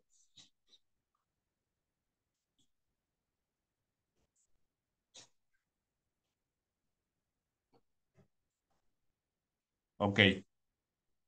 Voy a avanzar. Voy a sacar el de mercado pago, que es el más, aquí lo voy a poner, Ahí ya se me trabó el Excel. Pero el mercado pago son este 15%. A ver, voy a hacerlo aquí. 600 mil entre punto 15. 4 millones. Con 4 millones de pesos en mercado pago, como lo está entregando ahorita, entonces, pues ya, podría ser libre financieramente con 50 mil pesos al mes. Ahora, esto obviamente va a cambiar. Les decía que las tasas, por ejemplo, CETES ha llegado a dar el 4% nada más, ha llegado a dar el 15%. Entonces, pues obviamente tienes que tener aquí como un colchón para no estar tan justo. ¿Va?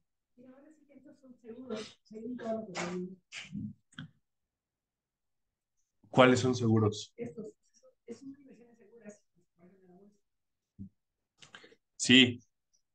Este es un tema bien interesante y qué bueno que lo pasaste, Itzel. Este, acostúmbrense a que todas las inversiones, todas, absolutamente todas, tienen un riesgo. ¿Ok? Seguro o no seguro, no sé, pero todo tiene un riesgo. ¿Cuál es el riesgo de invertir en el gobierno mexicano? Pues muy bajo. El riesgo que puedes tener es que la tasa del 10.3 anual de repente se baje a 5 o a 7, pero efectivamente, como dijo Itzel, pues no vas a perder tu dinero, ¿no? No lo vas a perder. Hay otros instrumentos que ahorita vamos a ver que sí puedes perder tu dinero. Hay un caso muy conocido de una criptomoneda que se llama Ripple, que es la criptomoneda que usan los bancos. Imagínense. Santander, BBVA, todos esos este, bancos internacionales utilizan esta criptomoneda para hacerse transferencias internacionales. Entonces, cuando salió y que se aprobó que lo usaran los, los bancos y todo, pues fue como un wow, este, va a ser mejor que el Bitcoin. Y fíjense, en, en 2017 estaba a punto 0.12 dólares y llegó a valer 3 dólares. ¿no? Entonces aquí todo el mundo dijo, no, esto ya nos hicimos millonarios, compraron a un dólar, se fue a 3 dólares y después, ¡pum!, se cayó a punto 19. Y ahorita, con, la victoria de Trump, todo el mundo ahí, es una, es una especulación, cree que va a valer 20 mil dólares. y entonces este, subió, pero otra vez ya bajó. Entonces, aquí a, eh, a lo que voy es que si tú invertiste, hablando un poquito de lo que dijo Mitchell, aquí iba subiendo, invertiste dos, a dos dólares y de repente te tocó la caída y vendes acá, a punto uno, pues pierdes el 90, aquí de aquí a acá se perdió el 90% del valor de tu dinero, se perdió. Ok, por eso es bien, es muy, muy, muy arriesgado. Las inversiones que ahorita vimos, estos de NU y CETES, pues son inversiones en donde no vas a perder. A lo mejor ganas menos, pero no vas a perder tu dinero. ¿Va? NU, en particular, este, tiene un límite y creo que nada más puedes invertir 200 mil pesos, así que pues no, podrías retirarte solamente con NU. Hay un límite, no sé si es 200 o 250 mil pesos, pero no vas a poder meterle 4 millones y medio, tendrías que ahí hacer una estrategia con, con diferentes instrumentos. ¿Va? Pero ahí vamos, vamos viendo más detalles. ¿Alguna pregunta? ¿Todo bien? Ok. Ahora, ¿qué es, representan 4 millones de pesos? pues representa tiempo. Y les voy a hacer otro cálculo que está medio cruel, pero es importante que lo vean. ¿Por qué es medio cruel? Porque... A ver. Aquí está. Gastos mensuales, 50 mil pesos. Gastos anuales, 600 mil pesos. Un rendimiento anual promedio del 10% necesitaría 6 millones de pesos. ¿Ok? Es el mismo cálculo que hicimos, pero con un rendimiento del 10%. Este es el cálculo que está medio cruel. ¿cuánto me tardaría en, ahorrar 6, mil, 6 millones de pesos? ¿Cuánto me tardaría en ahorrar 6 millones de pesos? Bueno, pues ¿cuánto ahorras al mes? Si hacemos un cálculo de una familia que ahorrara 5 mil pesos al mes, cosa que no muchas veces pasa, te tardarías 1.200 meses en ahorrar 6 millones. O sea, 120 años. ¿Sale? Entonces, incluso si ya sabes que NU da el, bueno, que CETES da el 10%, ahora el siguiente conflicto es cómo le hago para poder tener esos 6 millones de pesos. Está cañón. Si ahorraras 5 mil pesos al mes, te tardarías mil, perdón, 120 años.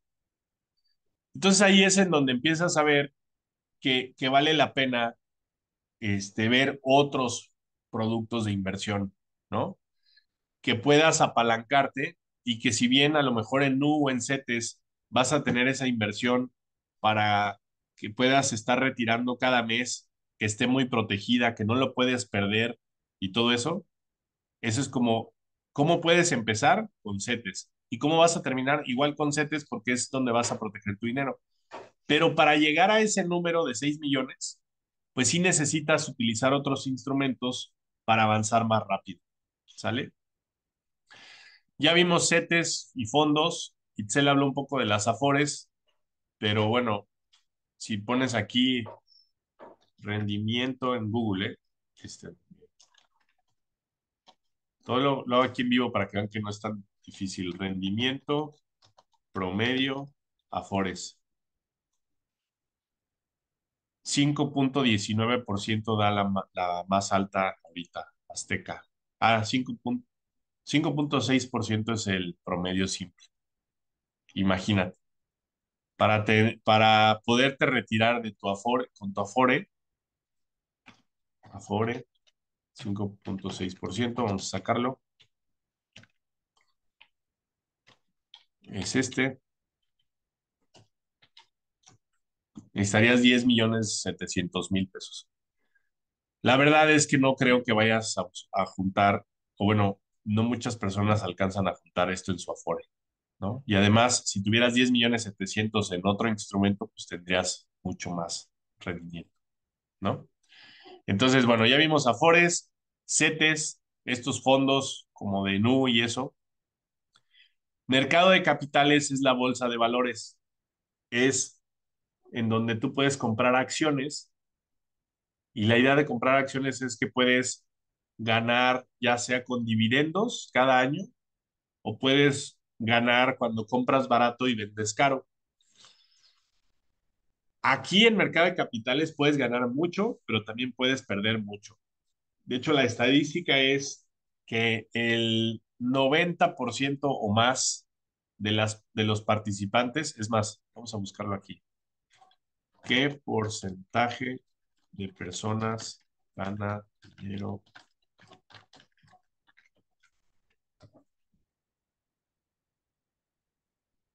Fíjate,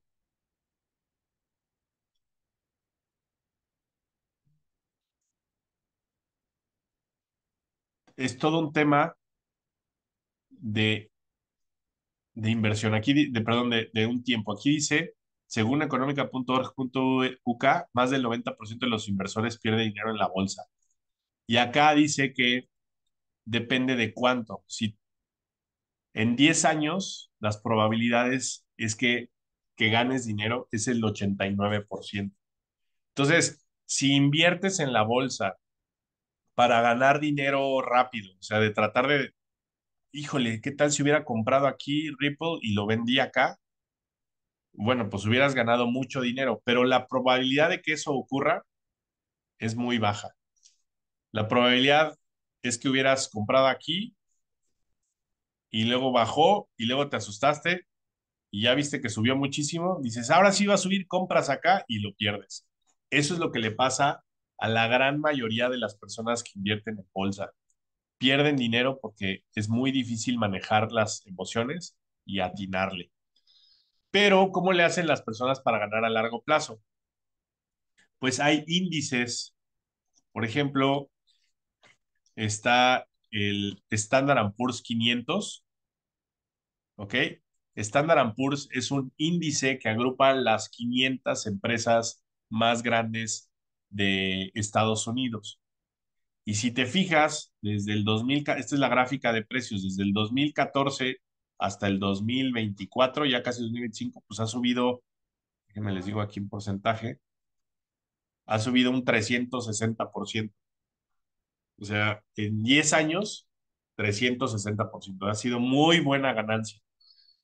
Pero este, aquí lo importante es que en 2000, más para acá, fíjense. Aquí en 2008 fue la crisis hipotecaria, fue una caída horrible. Si hubieras invertido aquí, hubieras perdido como el 80% de tu dinero en cuestión de un año o dos. Pero solo los que tuvieron paciencia, pues lo recuperaron. Fíjate, de 2007 lo hubieras recuperado hasta 2014. Siete años después lo recuperaste, pero se recuperó.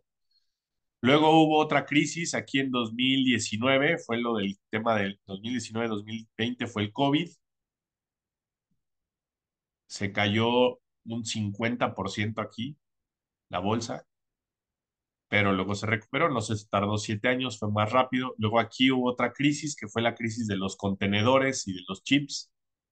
Entonces, siempre hay crisis a lo largo del, de la historia, pero si tú inviertes a largo plazo, si quieres invertir en la bolsa, la fórmula para perder es a corto plazo.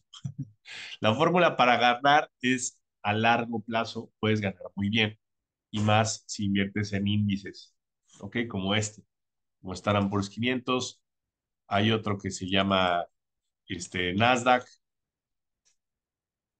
el Nasdaq, pues es, este es otro índice que agrupa a todas las empresas de tecnología.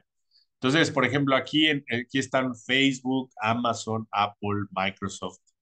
Aquí. Entonces, a mí me gusta mucho este índice porque pues, la tecnología va a seguir subiendo, va a seguir, o sea, no va a pasar de moda porque siempre están innovando la tecnología. ¿Cuándo hubo crisis en la tecnología? Pues cuando hubo esto de los chips, que no había microcontroladores, bajaron las acciones pero pues esto fue del enero del, 2022, del 22 a diciembre del 23, o sea, se tardó dos años en recuperarse de este golpazo, fíjense.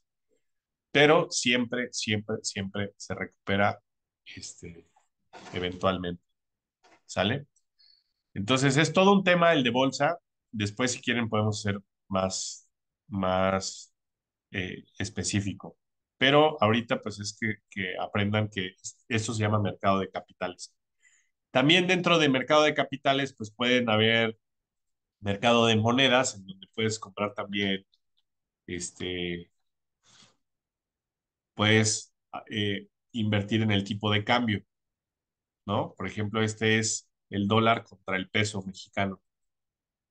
También es una oportunidad de inversión muy popular. La gente compra dólares entonces parece que es sencillo porque el dólar siempre, pues, bueno, casi siempre le ha ganado al peso mexicano. En lapsos de cinco años siempre le va a ganar al peso mexicano, pero es otra vez, es de acuerdo al, este, al plazo.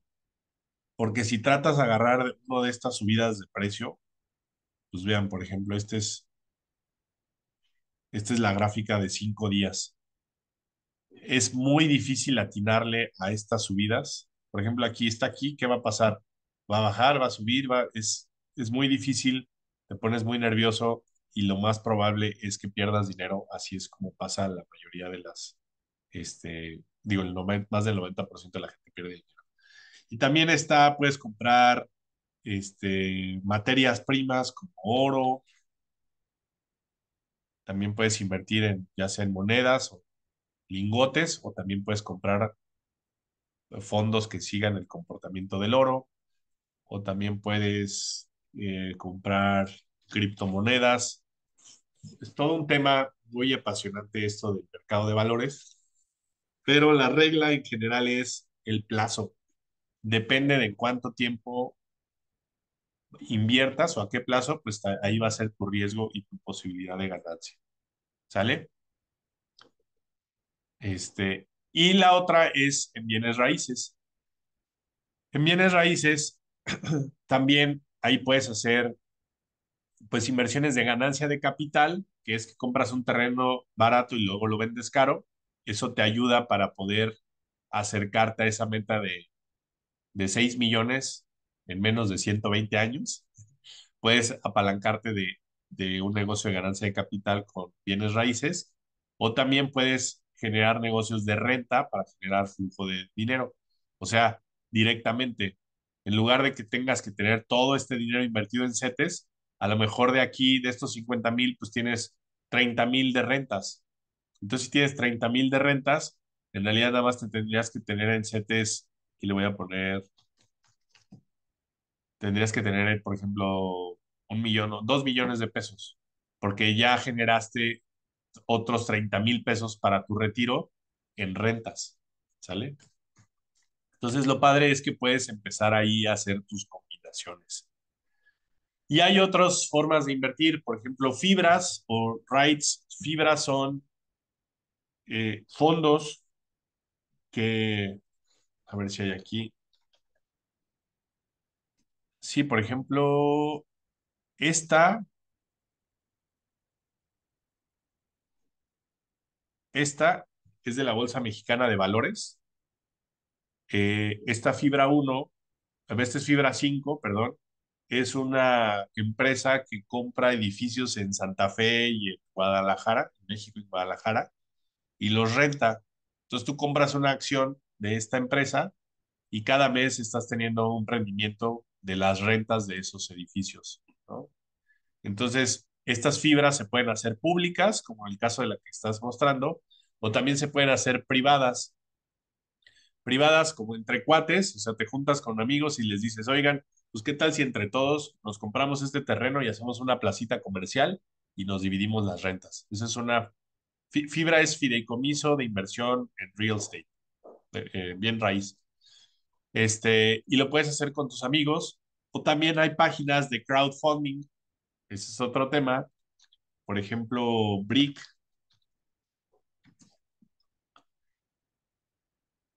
Brick MX es una plataforma de fondeo colectivo en donde te da chance de que inviertas en proyectos inmobiliarios desde 500 pesos con retornos de 19.5 anual, ¿no?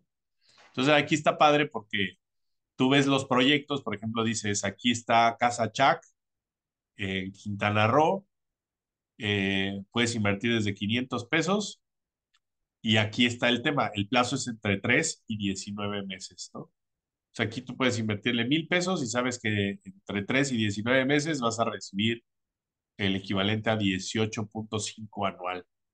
¿Ok? Si se tarda más de un año, pues vas a recibir más, más que eso. Entonces, son plataformas que están eh, reguladas por la Comisión Nacional Bancaria y Valores y que son pues bastante seguras. Eh, forex, seguros, también puedes invertir en seguros eh, de retiro. Esta página, que es la Asociación eh, de Plataformas de Fondeo Colectivo, es muy importante que la tengan porque si, si buscan una plataforma regulada para invertir, aquí están.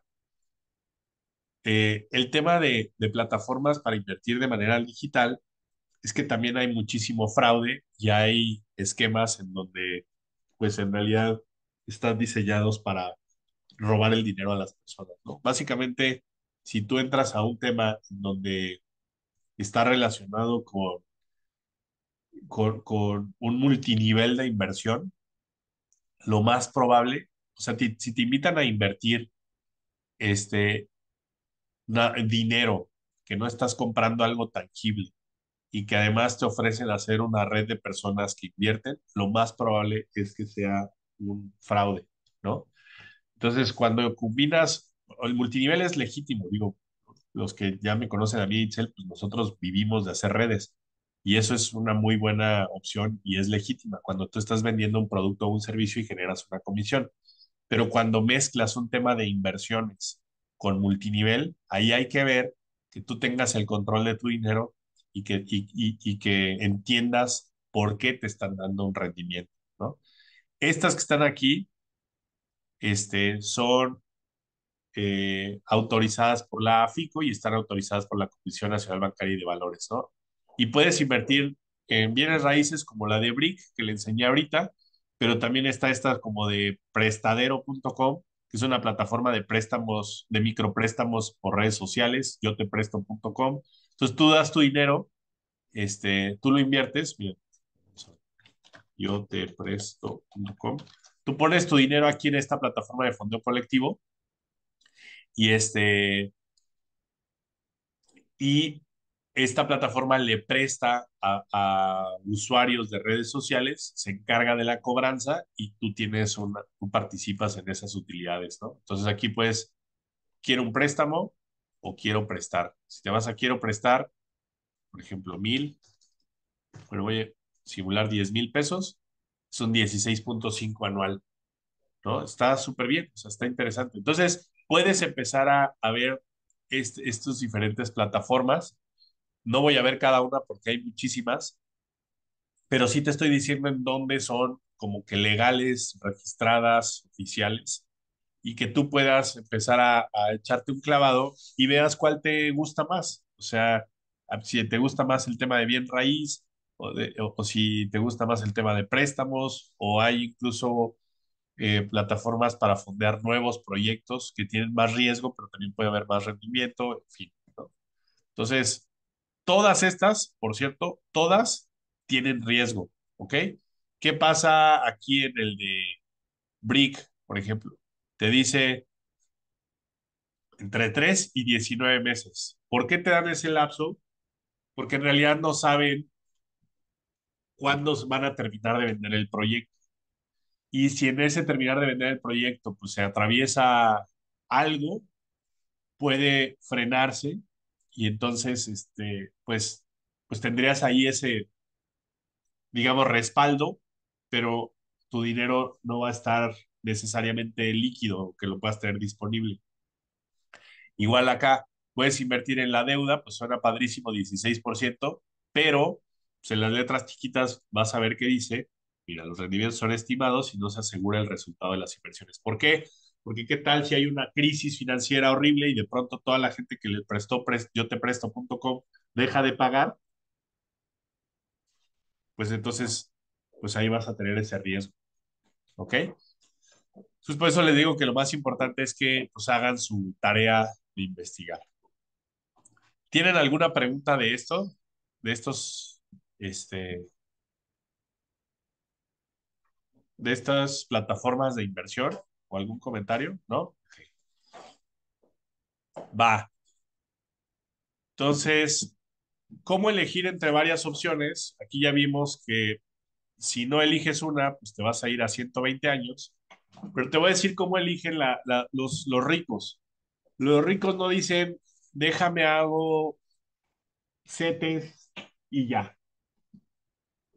Los ricos hacen una estrategia en donde eligen diferentes fuentes de inversión y las van acumulando.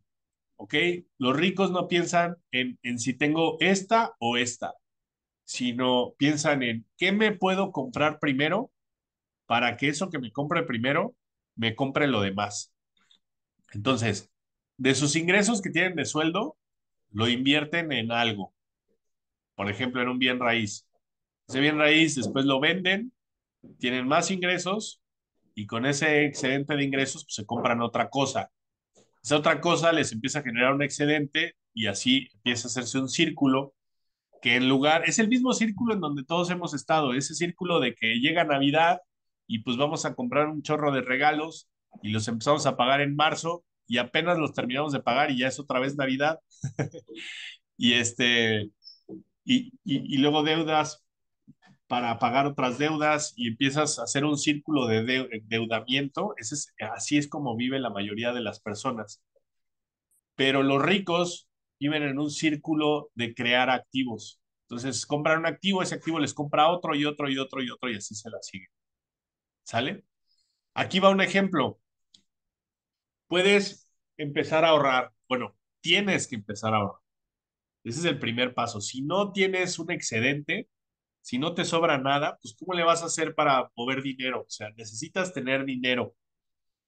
Si no puedes ahorrar nada, entonces necesitas, te urge hacer un negocio que pueda complementar tus ingresos, que puedas tener más dinero de forma que puedas ahorrar.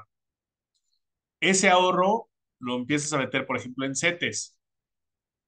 Con CETES te puedes empezar a pagar terrenos. Y luego con terrenos te puedes empezar a pagar casas.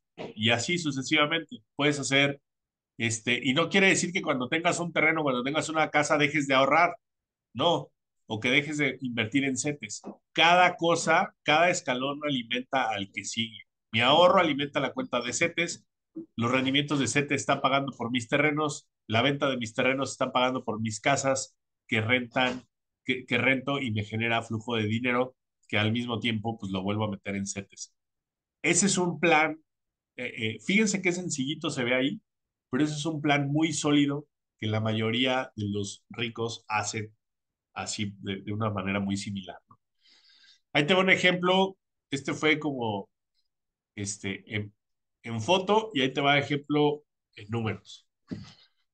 Compro un terreno con 10 mil pesos, ok, lo contrato con 10 mil pesos, tengo mensualidades de 2 mil, ok, al año son 24 mil pesos de mensualidades, ¿no? 2 mil por 12, 24. Y usando la misma fórmula de calcular mi número, ¿cuánto necesitaría invertir al 10% para que se pague solo?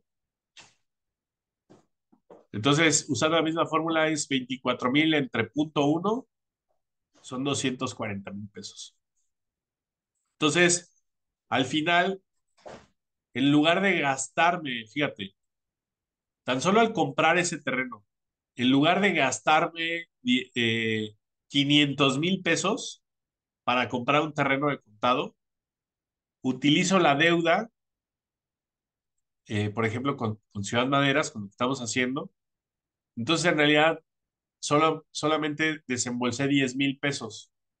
Estos 240 mil que los tengo ahorrados, en realidad están pagando las mensualidades del terreno y al final tengo un terreno que yo no pagué o me costó 500 mil pesos. ¿Por qué no lo? Perdón, que me costó 10 mil pesos. ¿Por qué no lo pagué yo? Porque no me gasté este dinero.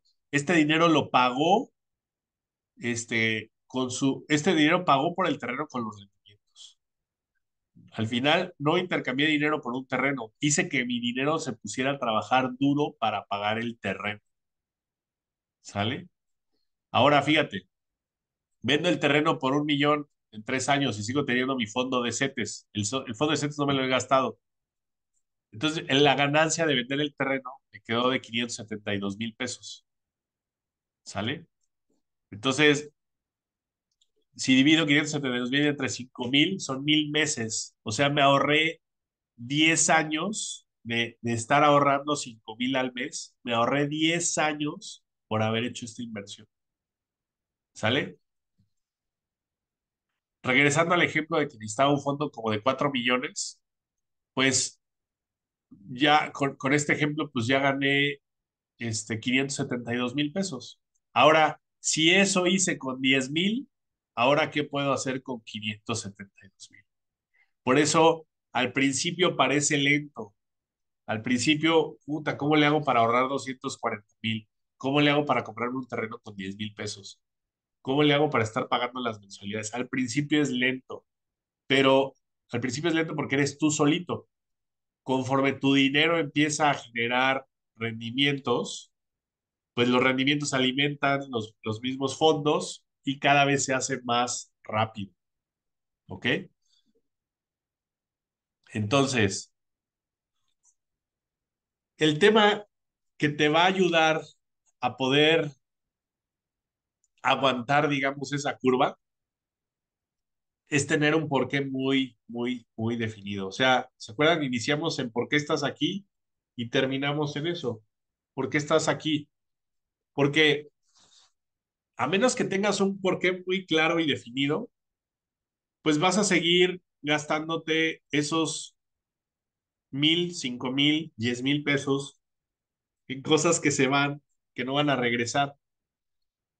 O vas a empezar a invertir en algo y cuando te toque perder tantito o cuando te toque una necesidad monetaria, a lo mejor puedes quebrarte y decir, híjole, pues este ahorro que tenía en CETES de 20 mil pesos, pues mejor me lo voy a gastar porque es la que el cumpleaños de mi amiguita, de, de mi hija. Y pum, te gastas esos 20 mil pesos.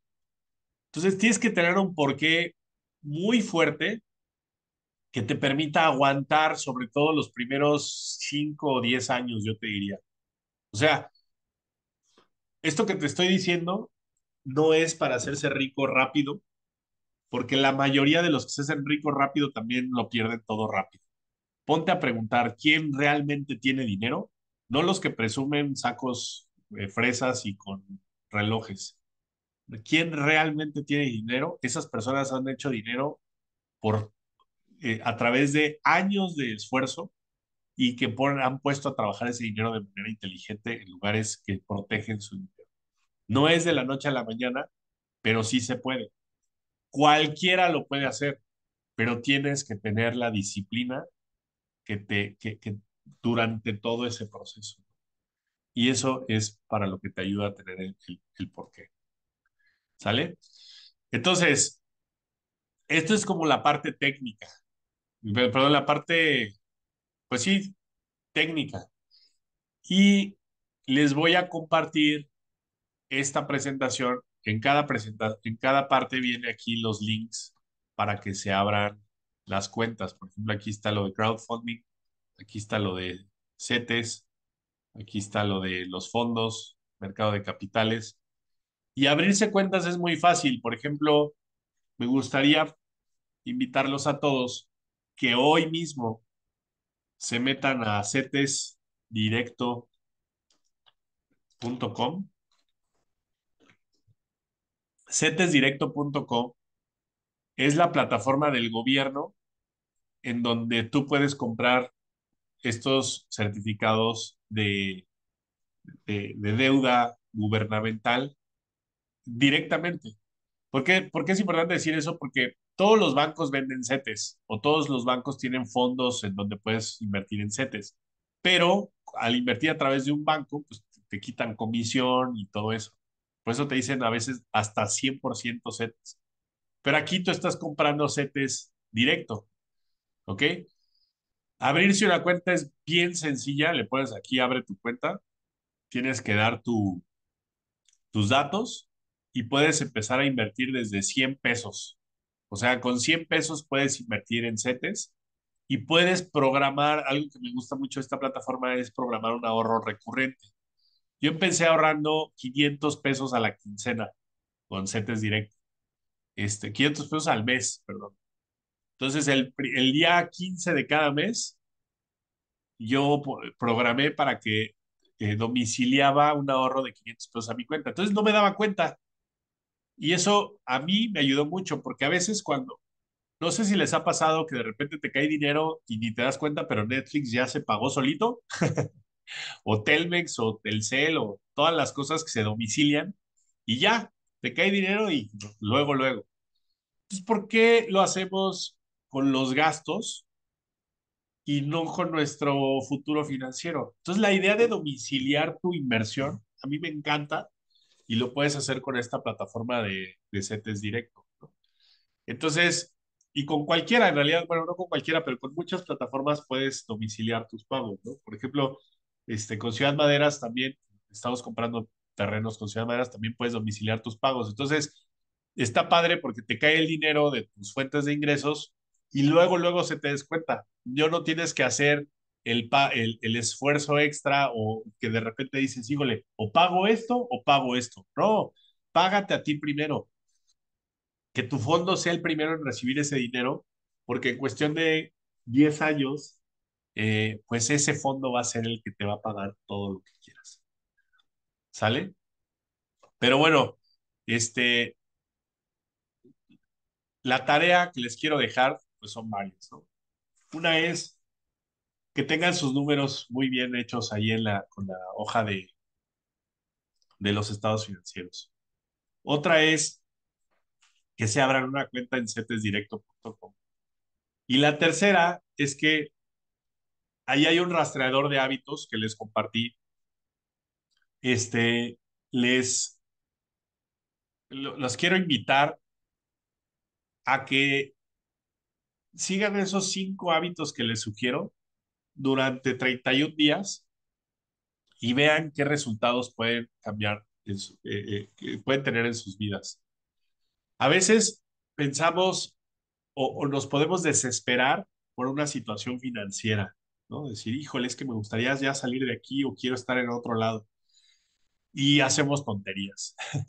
La realidad, otra vez lo voy a decir, es que las personas que son libres financieramente hablando, eh, no lo hacen de la noche a la mañana. Es un tema de hábitos y es para todo lo que vale la pena. O sea, si tienes, quieres tener una relación espectacular de pareja, es cuestión de hábitos. Si quieres tener salud física, es cuestión de hábitos. Si quieres comer bien, si quieres hacer ejercicio, no puedes ir al gym un día a hacer 8000 lagartijas y estar súper ah, súper bien, ¿no? Es un tema de todos los días estar con, con constancia y con disciplina en cualquier área de tu vida.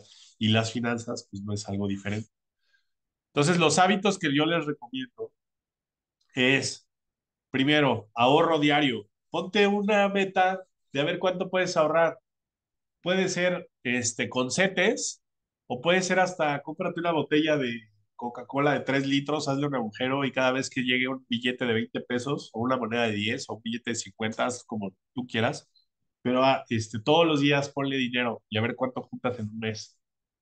Este, el segundo hábito es gasto consciente. Todos los días, cómprate una libretita o en tu teléfono, pero te sugiero que sea una libretita, cárgala y cada vez que tengas un gasto, por mínimo que sea, te decía hasta el, el que empaca las bolsas en el súper, apunta ese gasto y al final del mes súmalo suma todos esos gastos para que te des cuenta en qué se te fue cuánto dinero.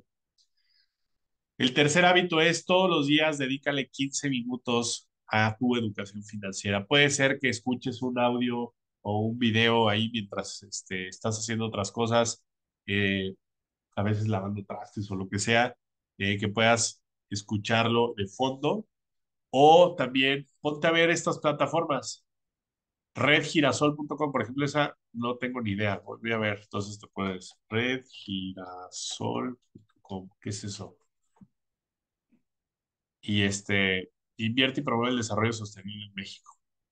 A ver, rendimiento. 13.62 anual. Súper bien. Entonces, todos los días, si te acostumbras a todos los días eh, invertirle 15 minutos a tu educación financiera, en un año vas a ser un, una persona muy avanzada y que y vas a poder tener conversaciones muy buenas con otro, además te vas a acercar a otro tipo de personas, a otros círculos sociales y que en lugar de estar este, hablando de cuánto cuestan las botellas de alcohol, puedes estar hablando de cuál es una mejor inversión. Este, el cuarto hábito es que ya que tienes tu hoja de... Acá ah, ya la cerré.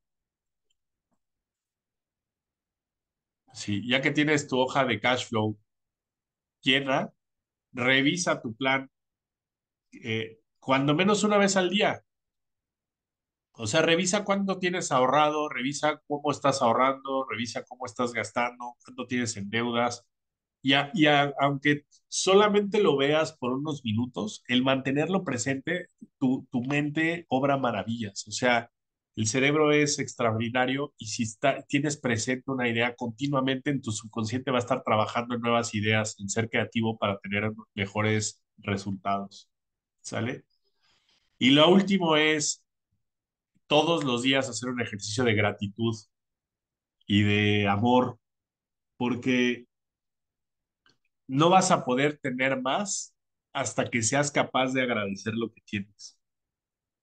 Y eso es algo súper fuerte que puede lograr un cambio muy, muy significativo en tu vida, ¿no? Y sobre todo, digo esto, se los digo con mucho cariño y respeto, pero las mujeres son, tienden mucho a preocuparse por este, lo que hace falta, porque está en su biología buscar proteger el nido, ¿no? Buscar proteger a la familia y entonces están viendo lo que hace falta. Pero hacen un montón de cosas muy bien.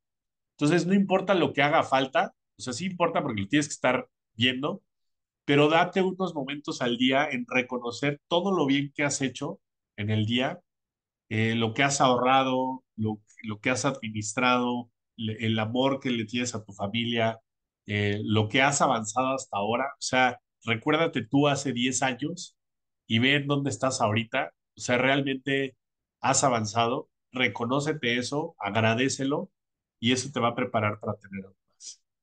¿Sale? Y bueno, pues eso es todo lo que les teníamos preparados. Ay, súper bien, ya vi que hay más personas conectadas. Platíquenme si tienen alguna pregunta o les gustaría que viéramos algo más. Este, ¿qué les, les gustaría que viéramos algo más? ¿Tienen alguna pregunta? Dejo micro abierto. También Itzel, Yadi, si quieren complementar. Oye, Rodrigo, yo quisiera comentar algo rápido. Este, ¿si me escuchas? Sí, Dulce, adelante, te escuchamos. Perdón.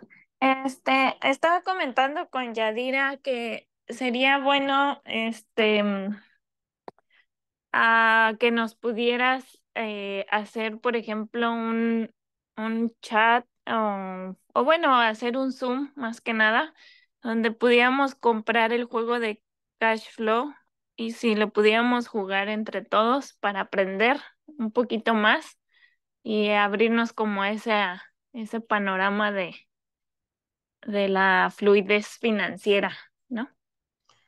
Claro, claro que sí. Este, que nos dirigieras, porque yo no lo he jugado, o sea, he jugado Monopoly y, y pues algunos otros, ¿verdad? Pero ese me llama la atención jugarlo y, y no he tenido la oportunidad. Entonces me gustaría comprarlo y ahorita que que viene el Black Friday, aprovechar para comprarlo más barato y tenerlo para poderlo jugar, ¿no? Sí, claro que sí, Dulce. Mira, hay, hay, hay dos opciones. Una es, les recomiendo que en esta página de richdad.com puedes jugarlo en línea, este, gratis. Entonces está padre porque ahí ves algunas cosas. Pero el, el juego de mesa en vivo, la verdad es que sí lo recomiendo cañón, porque este, porque te, te, te abre, o sea, el, hecho de escribir las, en, en línea te hace los cálculos solitos. El hecho de que tú tengas que hacer los cálculos te va entrenando la mente. Esa es una. Otra, te, te forzas a jugar con más personas, que empieza, puede ser con tu familia, pero luego también eh, se abre como que invites a gente, no, o sea, no necesariamente para que le vendamos nada, pero empieza a ser un círculo de personas que también están interesados en temas de inversión y ayuda muchísimo. O sea, sí, súper bien, Dulce. Entonces, este, mira, en Amazon lo puedes comprar, está en inglés y en español. Eh, hay dos versiones, hay dos niveles, uno es el 101, que es el que les, rec- es el, el primer nivel, ¿no? Cashflow 101. Y luego está el 202, que es más técnico, pero el 101 es el, es el bueno para empezar. Este, aquí puedes ver desde 80 dólares. Sí, ya las ofertas comienzan el 21 de noviembre. Ah, Entonces, bien. entonces eh, yo quiero como esperarme porque sí bajan un montón los precios. Si ahorita está a 75, bueno, yo lo he visto, este, al menos 10%, 15%, 20%, entonces Padrísimo. empiezan. Sí, Y todo el ya 21. cuando, y cuando lo tengas, igual podemos hacer una jugada en, internacional en vivo. O sea, ustedes juegan allá y nosotros acá y, y Sí, lo eso es lo que quisiera, como comprarlo y jugar con ustedes. Se puede hacer va. verlo en Zoom para aprender. Sí, sí, sí, me late. Gracias, Dulce. Cuenta con ello. ¿Qué más? Eh, Itzel, Oye, Ro, estaría padre que leamos lo de los puntos del hombre más rico de Babilonia. que también tienen, que imprimieron las chicas.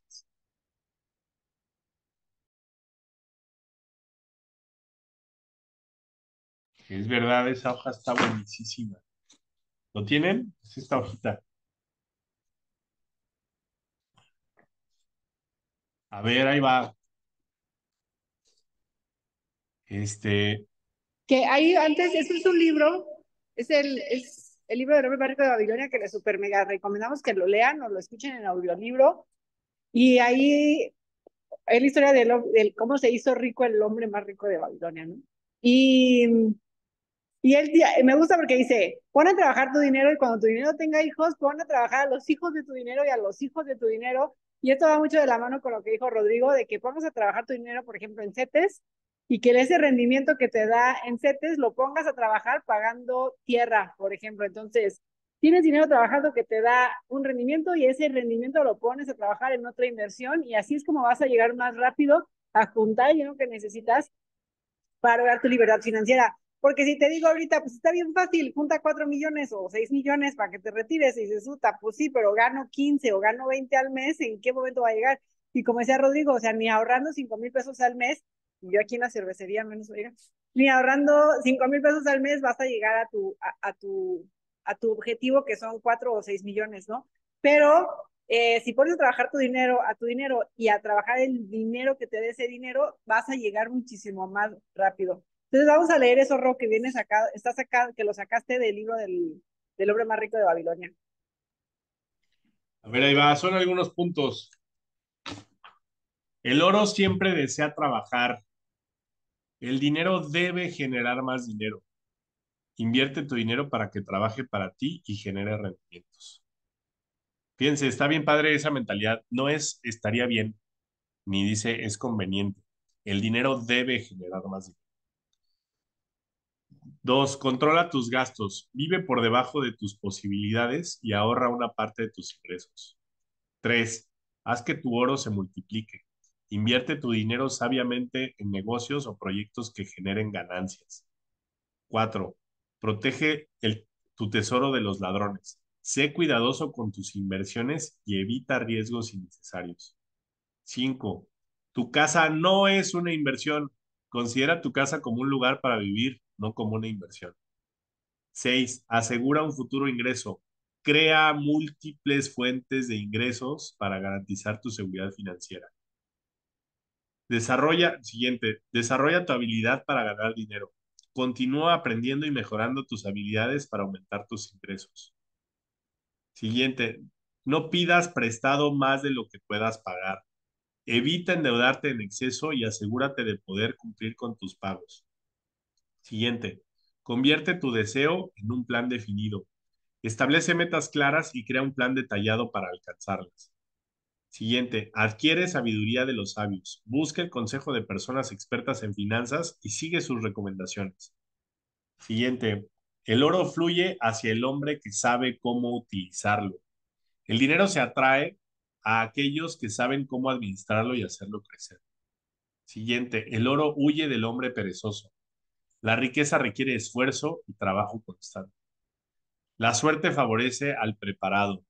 Prepárate financieramente para aprovechar las oportunidades que se presenten.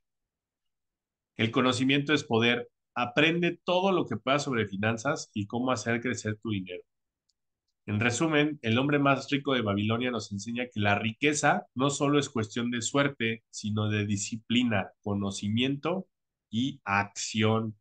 Al aplicar estos principios podemos construir una sólida base financiera y alcanzar nuestros objetivos financieros. Tarán, buenísimo libro. Hay que armar un, ese, ese círculo de lectura ya di. Va a estar buenísimo. Bueno, aunque es un libro que se lee bien rápido, ¿verdad? Pero, pero todos hay que leerlo. Bueno, pues sin más, gracias a todos por conectarse. Felicidades. ¿Algo más, Itzel, para cerrar? Gracias, Rob. Pues no sé si las chicas tengan algún comentario que nos compartan qué aprendieron, con qué se quedan, este, qué decisiones va a, o sea, no sé, platíquenme algo que les haya dejado este, este, este taller.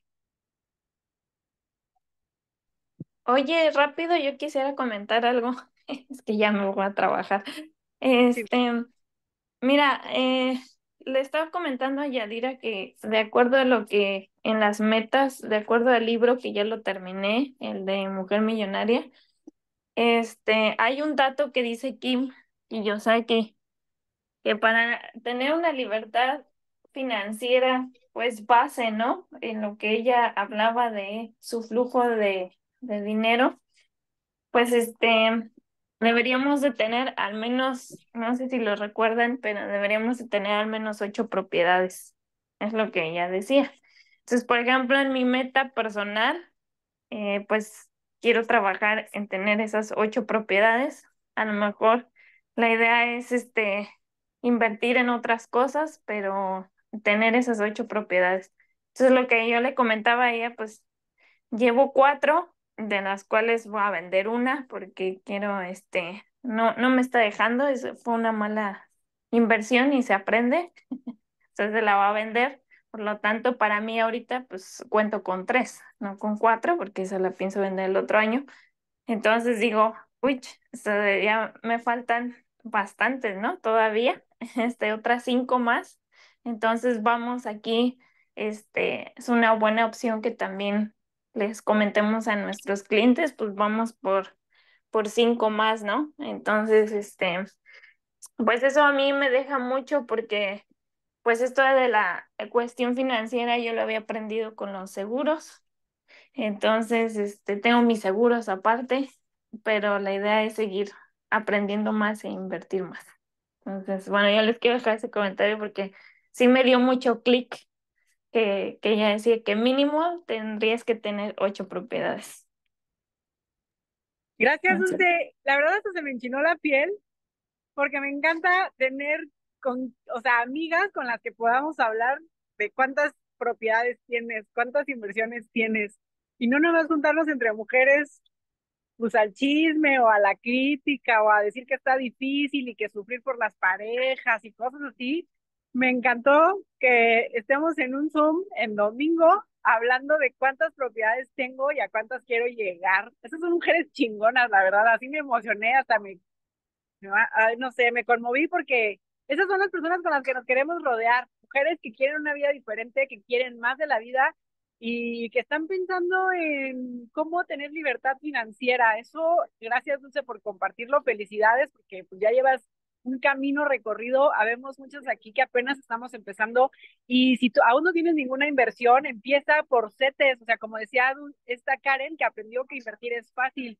O sea, pueden ahorita tener 100 pesos ya invertidos en CETES hoy mismo o puedes tener 10 mil o 20 mil pesos, lo que quieras que eh, quieras empezar a invertir. Lo puedes invertir porque es muy sencillo. Entonces, bueno, vamos a seguir con este movimiento, o sea, apenas lo estamos arrancando. Eh, eh, queremos que más mujeres se unan y que nos, eh, nos compartamos qué estamos haciendo y cómo le hacemos para llegar a esas propiedades, que la verdad para mí el único, eh, la inversión que, las inversiones que nos van a, o sea, en mi punto de vista, y, fue lo que llevó a, la libertad financiera Kim Kiyosaki, fueron las rentas. O sea, ella compró propiedades, las renta y de ahí tiene muchísimo dinero.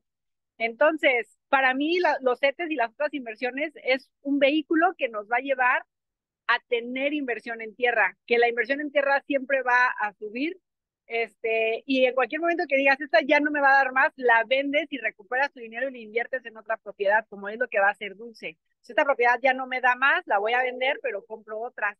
Y eso está bien padre. Entonces, eh, la finalidad es llegar a tener tierra, eh, tener casas de las cuales podamos vivir de nuestras rentas.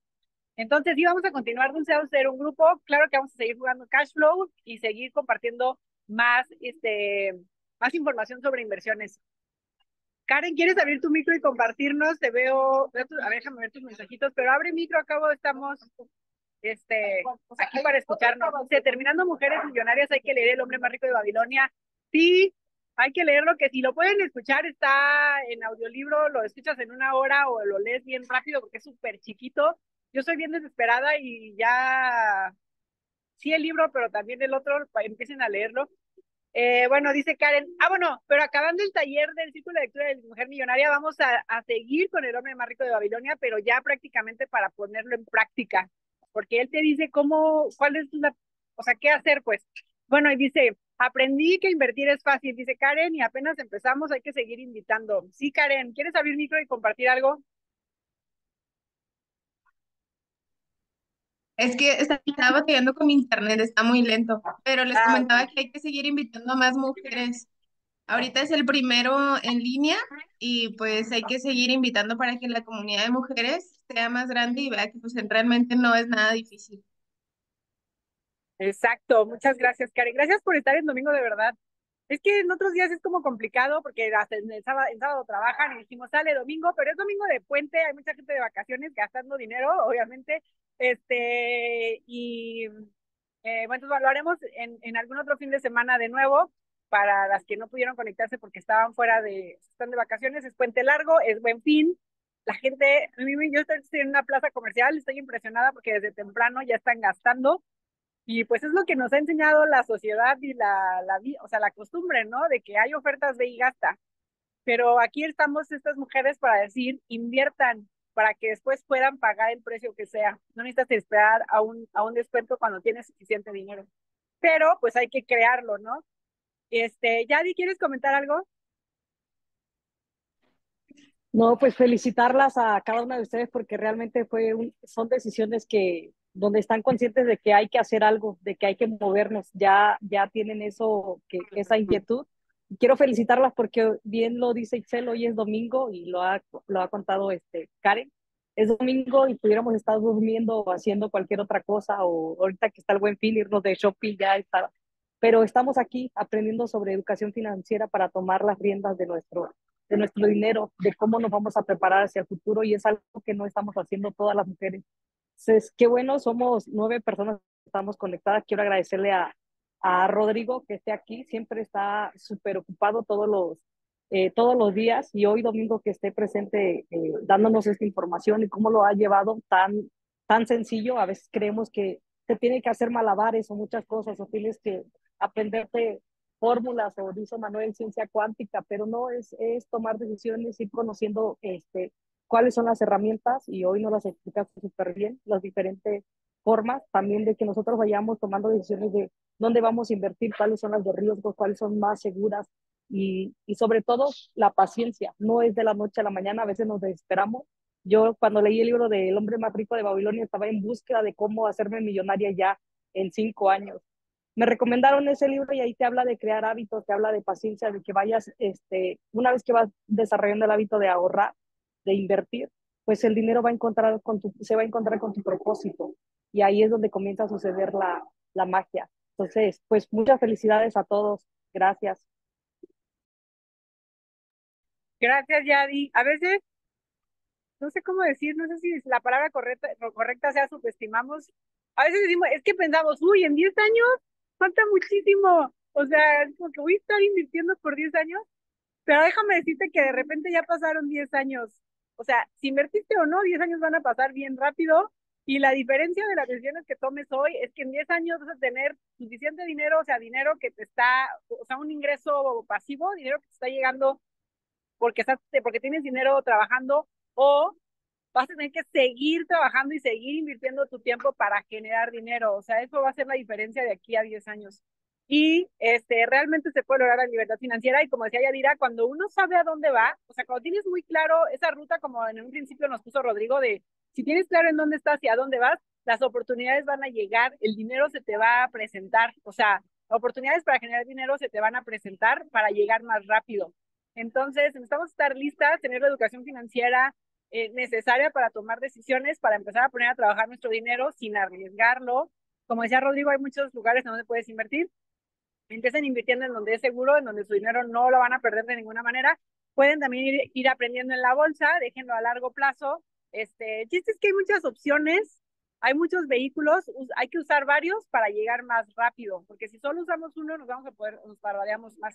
El chiste es que qué padre estar con mujeres que están eh, buscando educación financiera, porque es con las personas con las que hay que rodearnos, que estén buscando una mejor vida. Entonces, muchas gracias. No sé si alguien quiere comentar algo más. Abran micro, chicas. Terminando este Zoom, empiecen a abrir su cuenta en CETES. Si se atoran en algo, eh, escriban en el chat que hizo Yadira de mujeres que invierten, porque ahí las podemos ir como guiando si se atoran en algo. pero está muy sencillo abrir en CETES y desde hoy inviertan ya en CETES y pongan esta fecha, marquen esta fecha del día que empezaron su primera inversión, porque de aquí a 10 años vamos a hacer otro Zoom para ver en dónde estamos. Entonces, yo creo que en cinco, en cinco podemos vernos y decir, híjole, tengo tantos miles invertidos, ya llegué a mi primer millón, ya tengo mis dos millones, hice esta inversión en tierra, ya la vendí, pude hacer un millón y medio, o sea, ya tener ese tipo de conversaciones de millones de aquí a cinco años, pero mientras, que alguien más que quiera compartir algo. Ah, yo nada más les iba a, hacer una sugerencia que es buen fin, que no caiga en la mercadotecnia de, endeudarnos con cosas innecesarias, pensar como empresarias y si gastas en algo que en verdad es necesario o que te va a generar dinero o que te va a ayudar a generar dinero. Muchas gracias, Karen. Hay tantas cosas de, de este rollo, o sea, no. Y bueno, creo que tenemos, después hay que hacer un tema de un zoom sobre las deudas, porque hay deuda buena y hay deuda mala. Entonces, mientras sea una deuda que te va a generar dinero, como lo hace Robert Kiyosaki, Robert Kiyosaki siempre dice que es la persona más endeudada del mundo, pero es el más millonario, es de los más millonarios. O sea, él tiene deudas millonarias, pero tiene ganancias millonarias. Y él usa mucho la deuda. Entonces hay que saber cuándo una deuda es buena y cuándo es mala, ¿no? Si es una deuda para un activo que en un futuro te va a dar dinero, inviértanle. O sea, endeúdense en eso, en un activo que te pueda generar dinero en el futuro. Pero si es una deuda para algo que no va, que, que va a perder su valor en cuanto lo compras, no te metas en esas deudas porque no vas a salir rápido. Entonces, bueno, gracias Karen por tu comentario. ¿Alguien más que quiera comentar algo? Si no, las dejamos para que empiecen a hacer su, su darse, darse de alta en CETES y que hoy mismo ya tengan su primera inversión. ¿Pero alguien más quiere comentar algo?